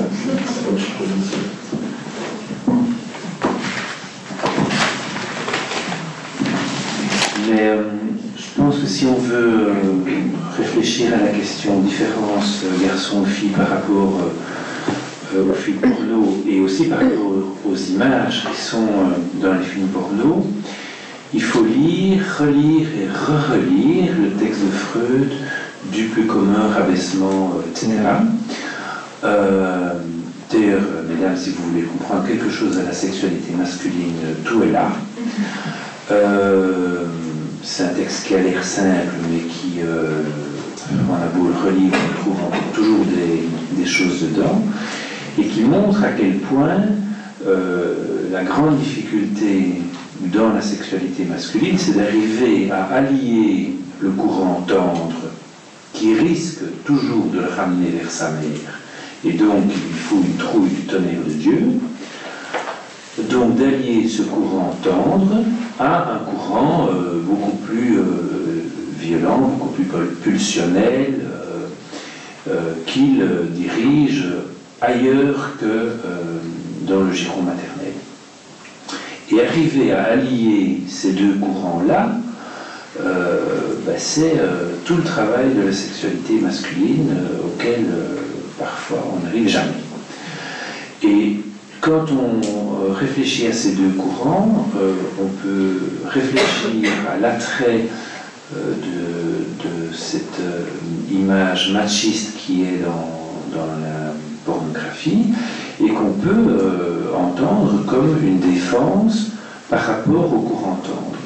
Tout comme, de manière générale, tout le machisme peut être entendu comme une défense euh, euh, par rapport à une féminisation ou un rapprochement à la mère.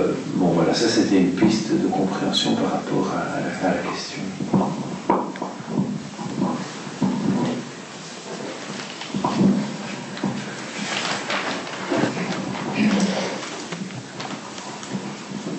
Je voudrais quand même dire, euh, depuis tout à l'heure, on a l'impression d'entendre qu'au final, c'est pas bien méchant, la pornographie, que, les ados s'en sortent très bien avec et qu'un futur pervers deviendra probablement pervers avec ou sans euh, la pornographie. Donc, quelque part, ma question ressemblait à ça, mais ça a plus été dirigé du côté des mhm. parents, mais vraiment du côté des adultes.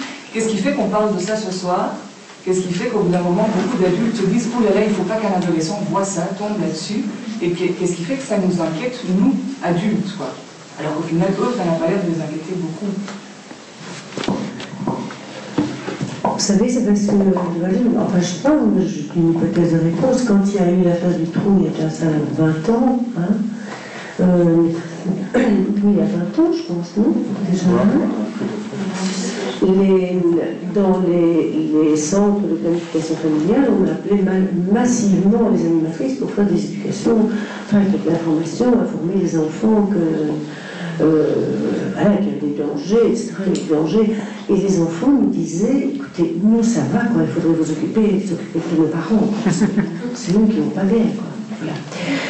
Alors effectivement, ici c'est des adultes, moi je vois pas beaucoup d'ados, euh, souvent hein, euh, on parle des ados à leur absence, hein, euh, dans le domaine aussi de la contraception et des risques de grossesse accidentelle, etc., et des mères adolescentes et de tout ce que vous voulez, des petites jeunes filles qui ont des enfants, etc.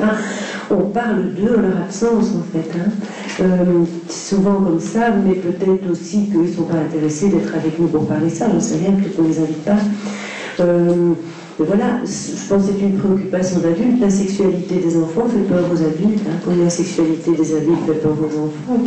Et puis peut-être aussi que les adultes sont mal avec la pornographie, alors qu'ils n'ont pas envie que leurs enfants euh, la vivent. Parce que moi je vois même que la pornographie, ça met à mal pas mal de couples. Hein. Les femmes qui consultent parce que leur mari est cyberaddict au porno, euh, qui se lèvent pendant la nuit pour aller voir sur l'historique les derniers qu'ils ont consultés, etc. Et ça fout le bordel dans le couple, quoi. Peut-être, j'en sais rien, hein, je dis ça, voilà, c'est une réponse comme ça, mais comment dans le monde Oui, enfin, moi j'entends bien la, question, mais il ne faudrait pas la, la scinder. Moi je, n'ai jamais dit qu'il n'y a pas de problème avec la pornographie, enfin le premier propos n'est pas du tout dans ce sens-là. Mais je pense qu'il s'agit euh, réellement d'un phénomène éventuellement plus accessible maintenant, donc potentiellement plus fréquent, euh, pour, tous les adolescents, et qui a naturellement un temps de fragilité à l'adolescence, et que la plupart des adolescents, comme avec toutes les autres choses qu'ils vivent à ce moment-là, se construisent euh, en, s'étayant à la fois sur, sur le milieu habituel qui est le milieu familial et, en allant trouver ailleurs les supports. Le risque, bien entendu, de ça, c'est comme toujours, euh, vers, qui, vers quoi va-t-on se retourner pour quitter un peu la famille D'où le risque d'une famille qui serait hyper sens, à censurer tout, en ce y compris tout cela, parce que je pense que l'interdit euh, va, augmenter éventuellement la question de l'envie, j'ai pas dit du désir, mais de l'envie. Je pense qu'un des éléments de la pornographie, c'est qu'il n'y a pas de désir, hein, c'est qu'il n'y a pas d'enjeu du désir dans, la pornographie, j'en ai parlé tout au début, et ça me semble une de leurs caractéristiques. Maintenant, les parents euh, d'adolescents, ben, la plupart, ils ont peur. Point ils ont peur.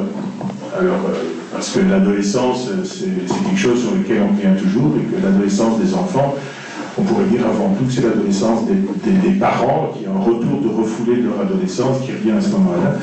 Pour certains, c'est sur une forme de, peur liée à une responsabilité et à une fragilité de leurs enfants, c'est-à-dire une difficulté, comme toujours, à leur faire confiance. Hein, ça commence depuis le premier jour jusqu'au-delà et avec quelque chose qui manifestement est violent, et je crois qu'on vient de le rappeler, je pense qu'il faut accepter, sans pour ça l'hypertrophier, que la sexualité, c'est à la fois au sens de l'éprouver, du représenter, du figurer et de l'agir, quelque chose qui a à voir avec la violence.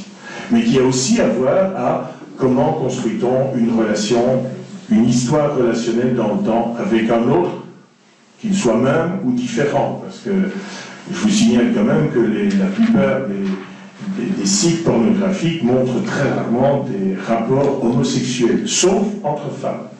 Et ce n'est pas encore une histoire d'amour entre femmes, ce sont en général des femmes qui se caressent face au regard des hommes.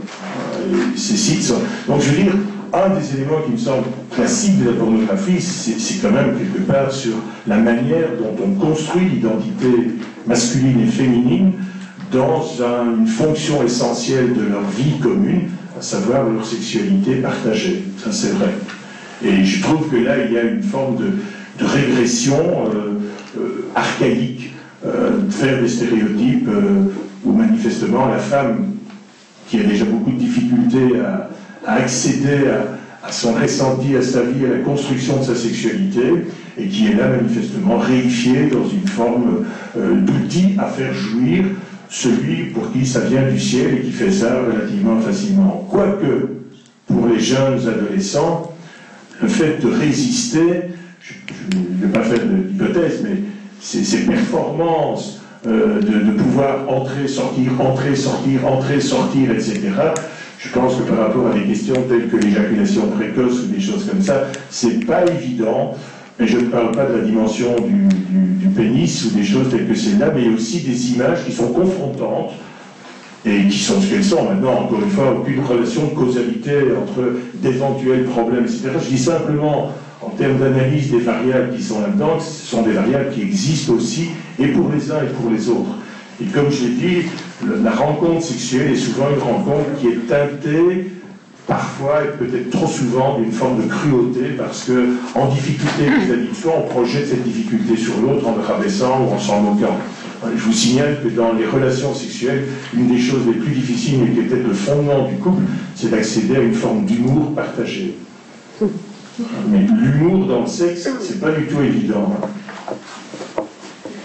Je dire que j'ai juste une petite chose, c'est que, parce qu'on a fait plusieurs fois allusion au nom du ciel, là, je pense que. Non, non, mais, non, mais je pense quand même que la, sexualité masculine, euh, même si elle, euh, voilà, elle arrive comme ça d'un coup, ça, ça, reste quand même quelque chose d'extrêmement fragile, hein, extrêmement fragile. Et je pense pour voir les gens, les couples et leurs plaintes, que c'est pas les mêmes plaintes évidemment, les hommes et les femmes, mais il y a quand même une grande fragilité de la sexualité masculine, surtout pour le moment, et surtout dans ce qu'on vit, et, peut-être aussi avec des, volontés toutes féministes que je sois, de, mettre exactement sur le même pied les hommes et les femmes, alors que dans le domaine de la sexualité, il va effectivement falloir une, une différence pour, euh, pour pouvoir vivre cette fonction-là, et une différence qui est bien établie.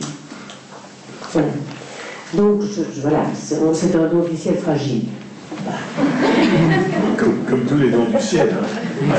ça, n'arrive qu'une fois.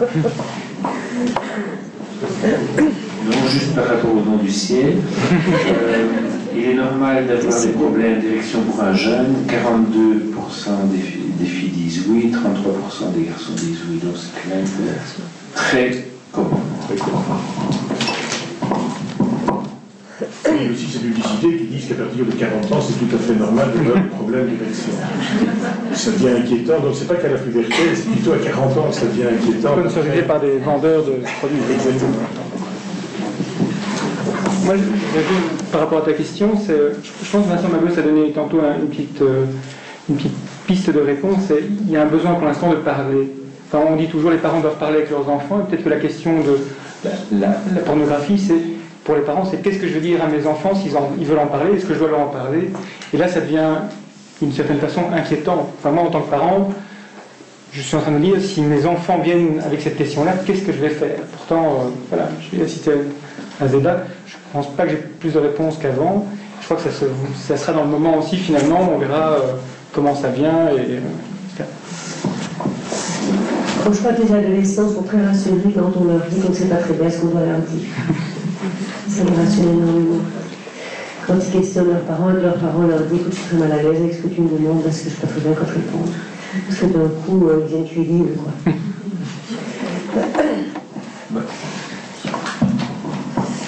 Si vous réfléchissez au moment où les enfants posent des questions sur la sexualité, c'est toujours un moment où. Euh, et donc, euh, c'est toujours embrassant. Donc, la, question, c'est comment, justement, dire que c'est pas évident. Mais il est impossible d'être sécurisant à tout prix avec quelque chose qui est par essence et par existence et histoire à la fois énigmatique, mystérieux, euh, troublant, enfin on peut ajouter toute la liste. Hein.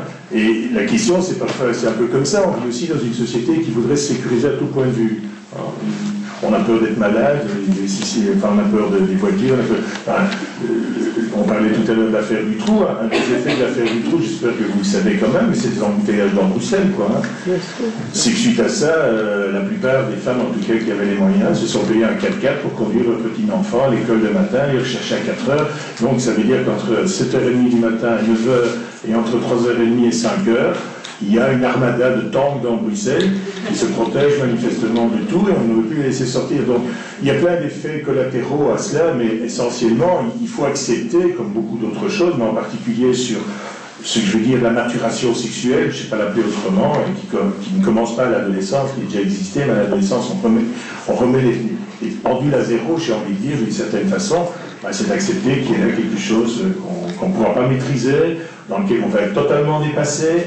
Et la question, c'est est-ce que j'accepte de pouvoir être dépassé, de revenir sur mes questionnements à moi, et d'accepter parfois que je suis en plein échec sexuel dans ma vie à moi, et dans ma vie de couple, etc. Ça, c'est l'adolescent, très souvent, il vient mettre aussi son doigt au moment où ça fait mal dans la vie des parents, d'une certaine façon. Autre question en étant à ce moment-là, au point de vue de l'éducation officielle, scolaire, et au point de vue société, quelle est la responsabilité par rapport à une série de questions On l'a vu par rapport au sida, ben, il y a eu des positions, elles n'ont pas toujours été euh, cohérentes, mais en tout cas il y avait des positions très claires selon la, philosophie d'approche de, l'humain, et, d'autre part, euh, ici, par rapport éventuellement à un phénomène nouveau, mais qui est nouveau, je pense, de manière globale par rapport à ce qu'est Internet, c'est-à-dire un accès libre à tout. Hein, l'illusion de croire que là où je suis devant ma tablette, euh, je suis au centre du monde et donc je peux avoir accès à tout savoir et à toute compétence là où je suis sans bouger, le glissement vers dire je suis au centre du monde et je suis le centre du monde, c'est un peu un, narcissisme exalté et exaltant qui peut poser des problèmes dans des moments où précisément la question est l'autre, dans son inquiétante étrangeté.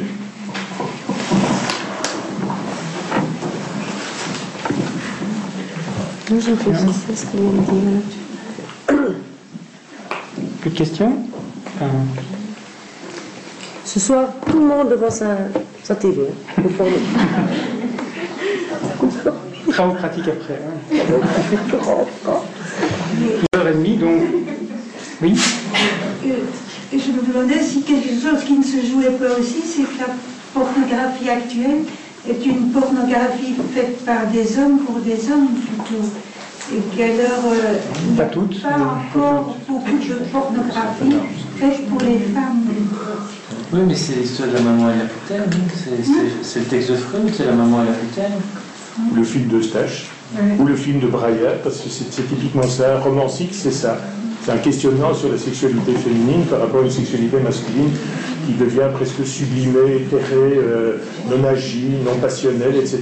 Et avec une femme qui est. Et c'est quoi maintenant être femme par rapport à ce, monde et à ça?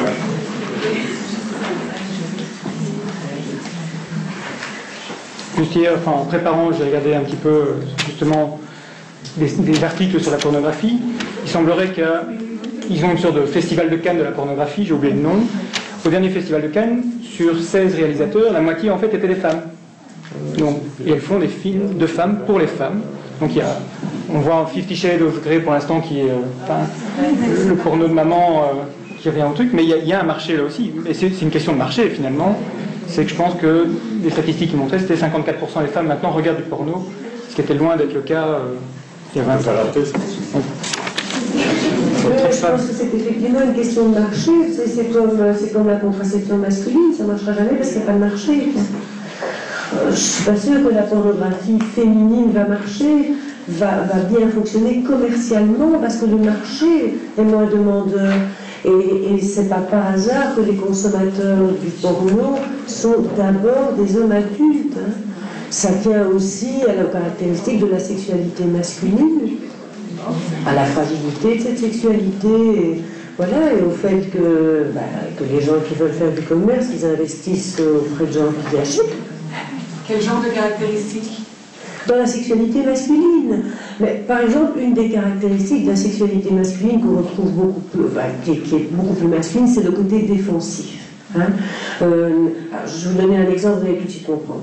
Les, quand un couple se dispute, hein, ou est en pétard, les hommes, ils vous disent oh, si pouvez faire bien faire l'amour, ça irait beaucoup mieux. Et les femmes, elles vous disent parce qu'ils s'imaginent qu'on dispute depuis 15 jours, comment je vais faire l'amour Bon. Et donc il y a quelque chose de défensif. Hein, je veux dire, le, fait qu'on a une insomnie, on va, on va se, une bonne masturbation, on va faire l'amour, ça après on va bien dormir. Oui, côté défensif, on est très très stressé, on va passer un examen, une bonne petite branlette et on est bien détendu. Quoi. Ça, c'est beaucoup plus typiquement masculin que féminin. C'est le côté défensif de la sexualité, d'une part. Et d'autre part, comme l'a dit Vincent Lagos, la nécessité pour un homme d'intégrer ces deux pôles, la maman, la putain. Hein. Euh, parce qu'il n'y a rien à faire, la femme aimée, la femme, aimée, la femme investie émotionnellement, affectivement, amoureusement, est quelque part assimilée à une, à une maman, à une madone, mais il va falloir l'érotiser, cette femme, il va falloir la désirer, il va falloir la pénétrer. Et, ça, c'est quand même beaucoup plus facile pour une femme qui n'est pas euh, investie émotionnellement. Moi, je vois des hommes qui viennent me voir et qui sont plus du tout capables d'érotiser la femme qu'ils aiment. C'était déjà difficile au début parce qu'ils l'aimaient, mais depuis qu'elle a été une fois maman et deux fois maman, ce n'est plus possible du tout. Par contre, ils n'ont aucune difficulté pour avoir des relations sexuelles avec une collègue de bureau ou éventuellement avec une professionnelle qui n'est pas du tout investie émotionnellement qui n'est pas du tout investi sur le plan de l'affection ou de la tendresse. Eh bien, cette caractéristique est beaucoup plus rare chez les femmes, quasiment inexistante chez les femmes. Il y a d'autres caractéristiques typiquement, euh, beaucoup plus typiquement masculines que féminines. Pour faire l'amour, un homme, il est prêt à aimer. Hein.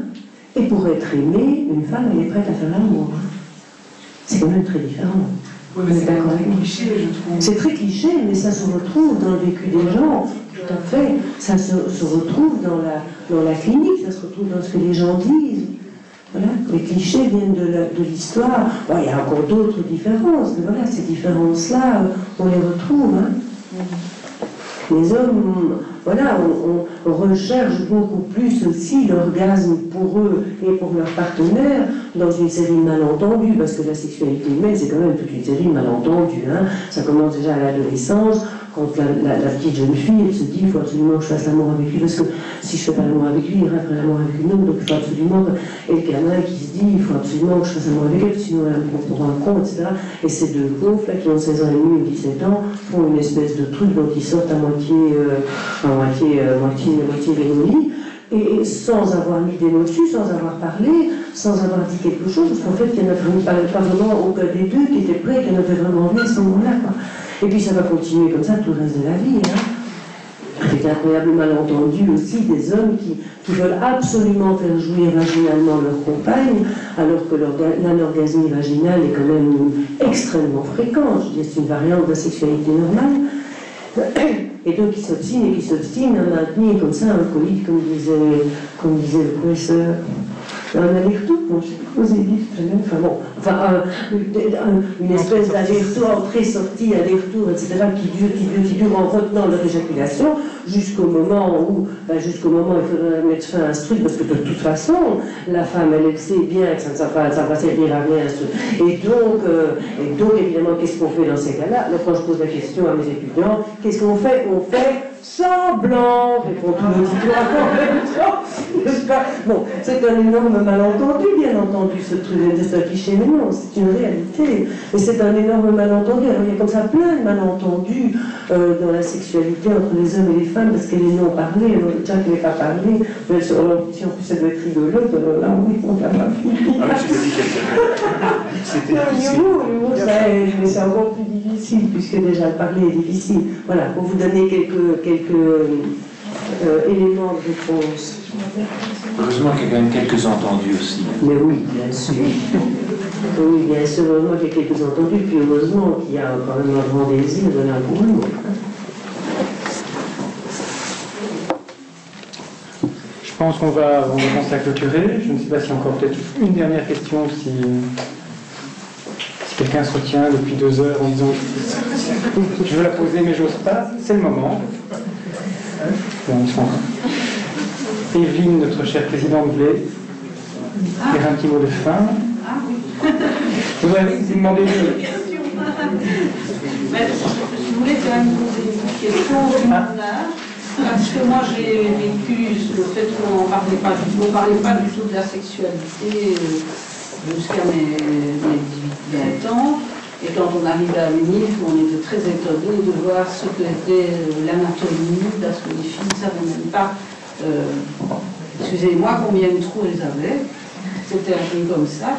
Et puis on a vécu 68 et la libération sexuelle et tout était permis du moment que on pouvait, euh, on respectait l'autre. Donc on pouvait faire tout ce qu'on voulait si l'autre était d'accord. Donc c'était le respect de l'autre. Et puis il y a eu le sida. Et donc là, euh, à ce moment-là, on a commencé à dire qu'il fallait faire attention, qu'il fallait sécuriser. Et puis alors il y a eu l'affaire du trou, justement dans les écoles. On a voulu faire de, l'éducation affective et sexuelle parce que les enfants risquaient d'eux.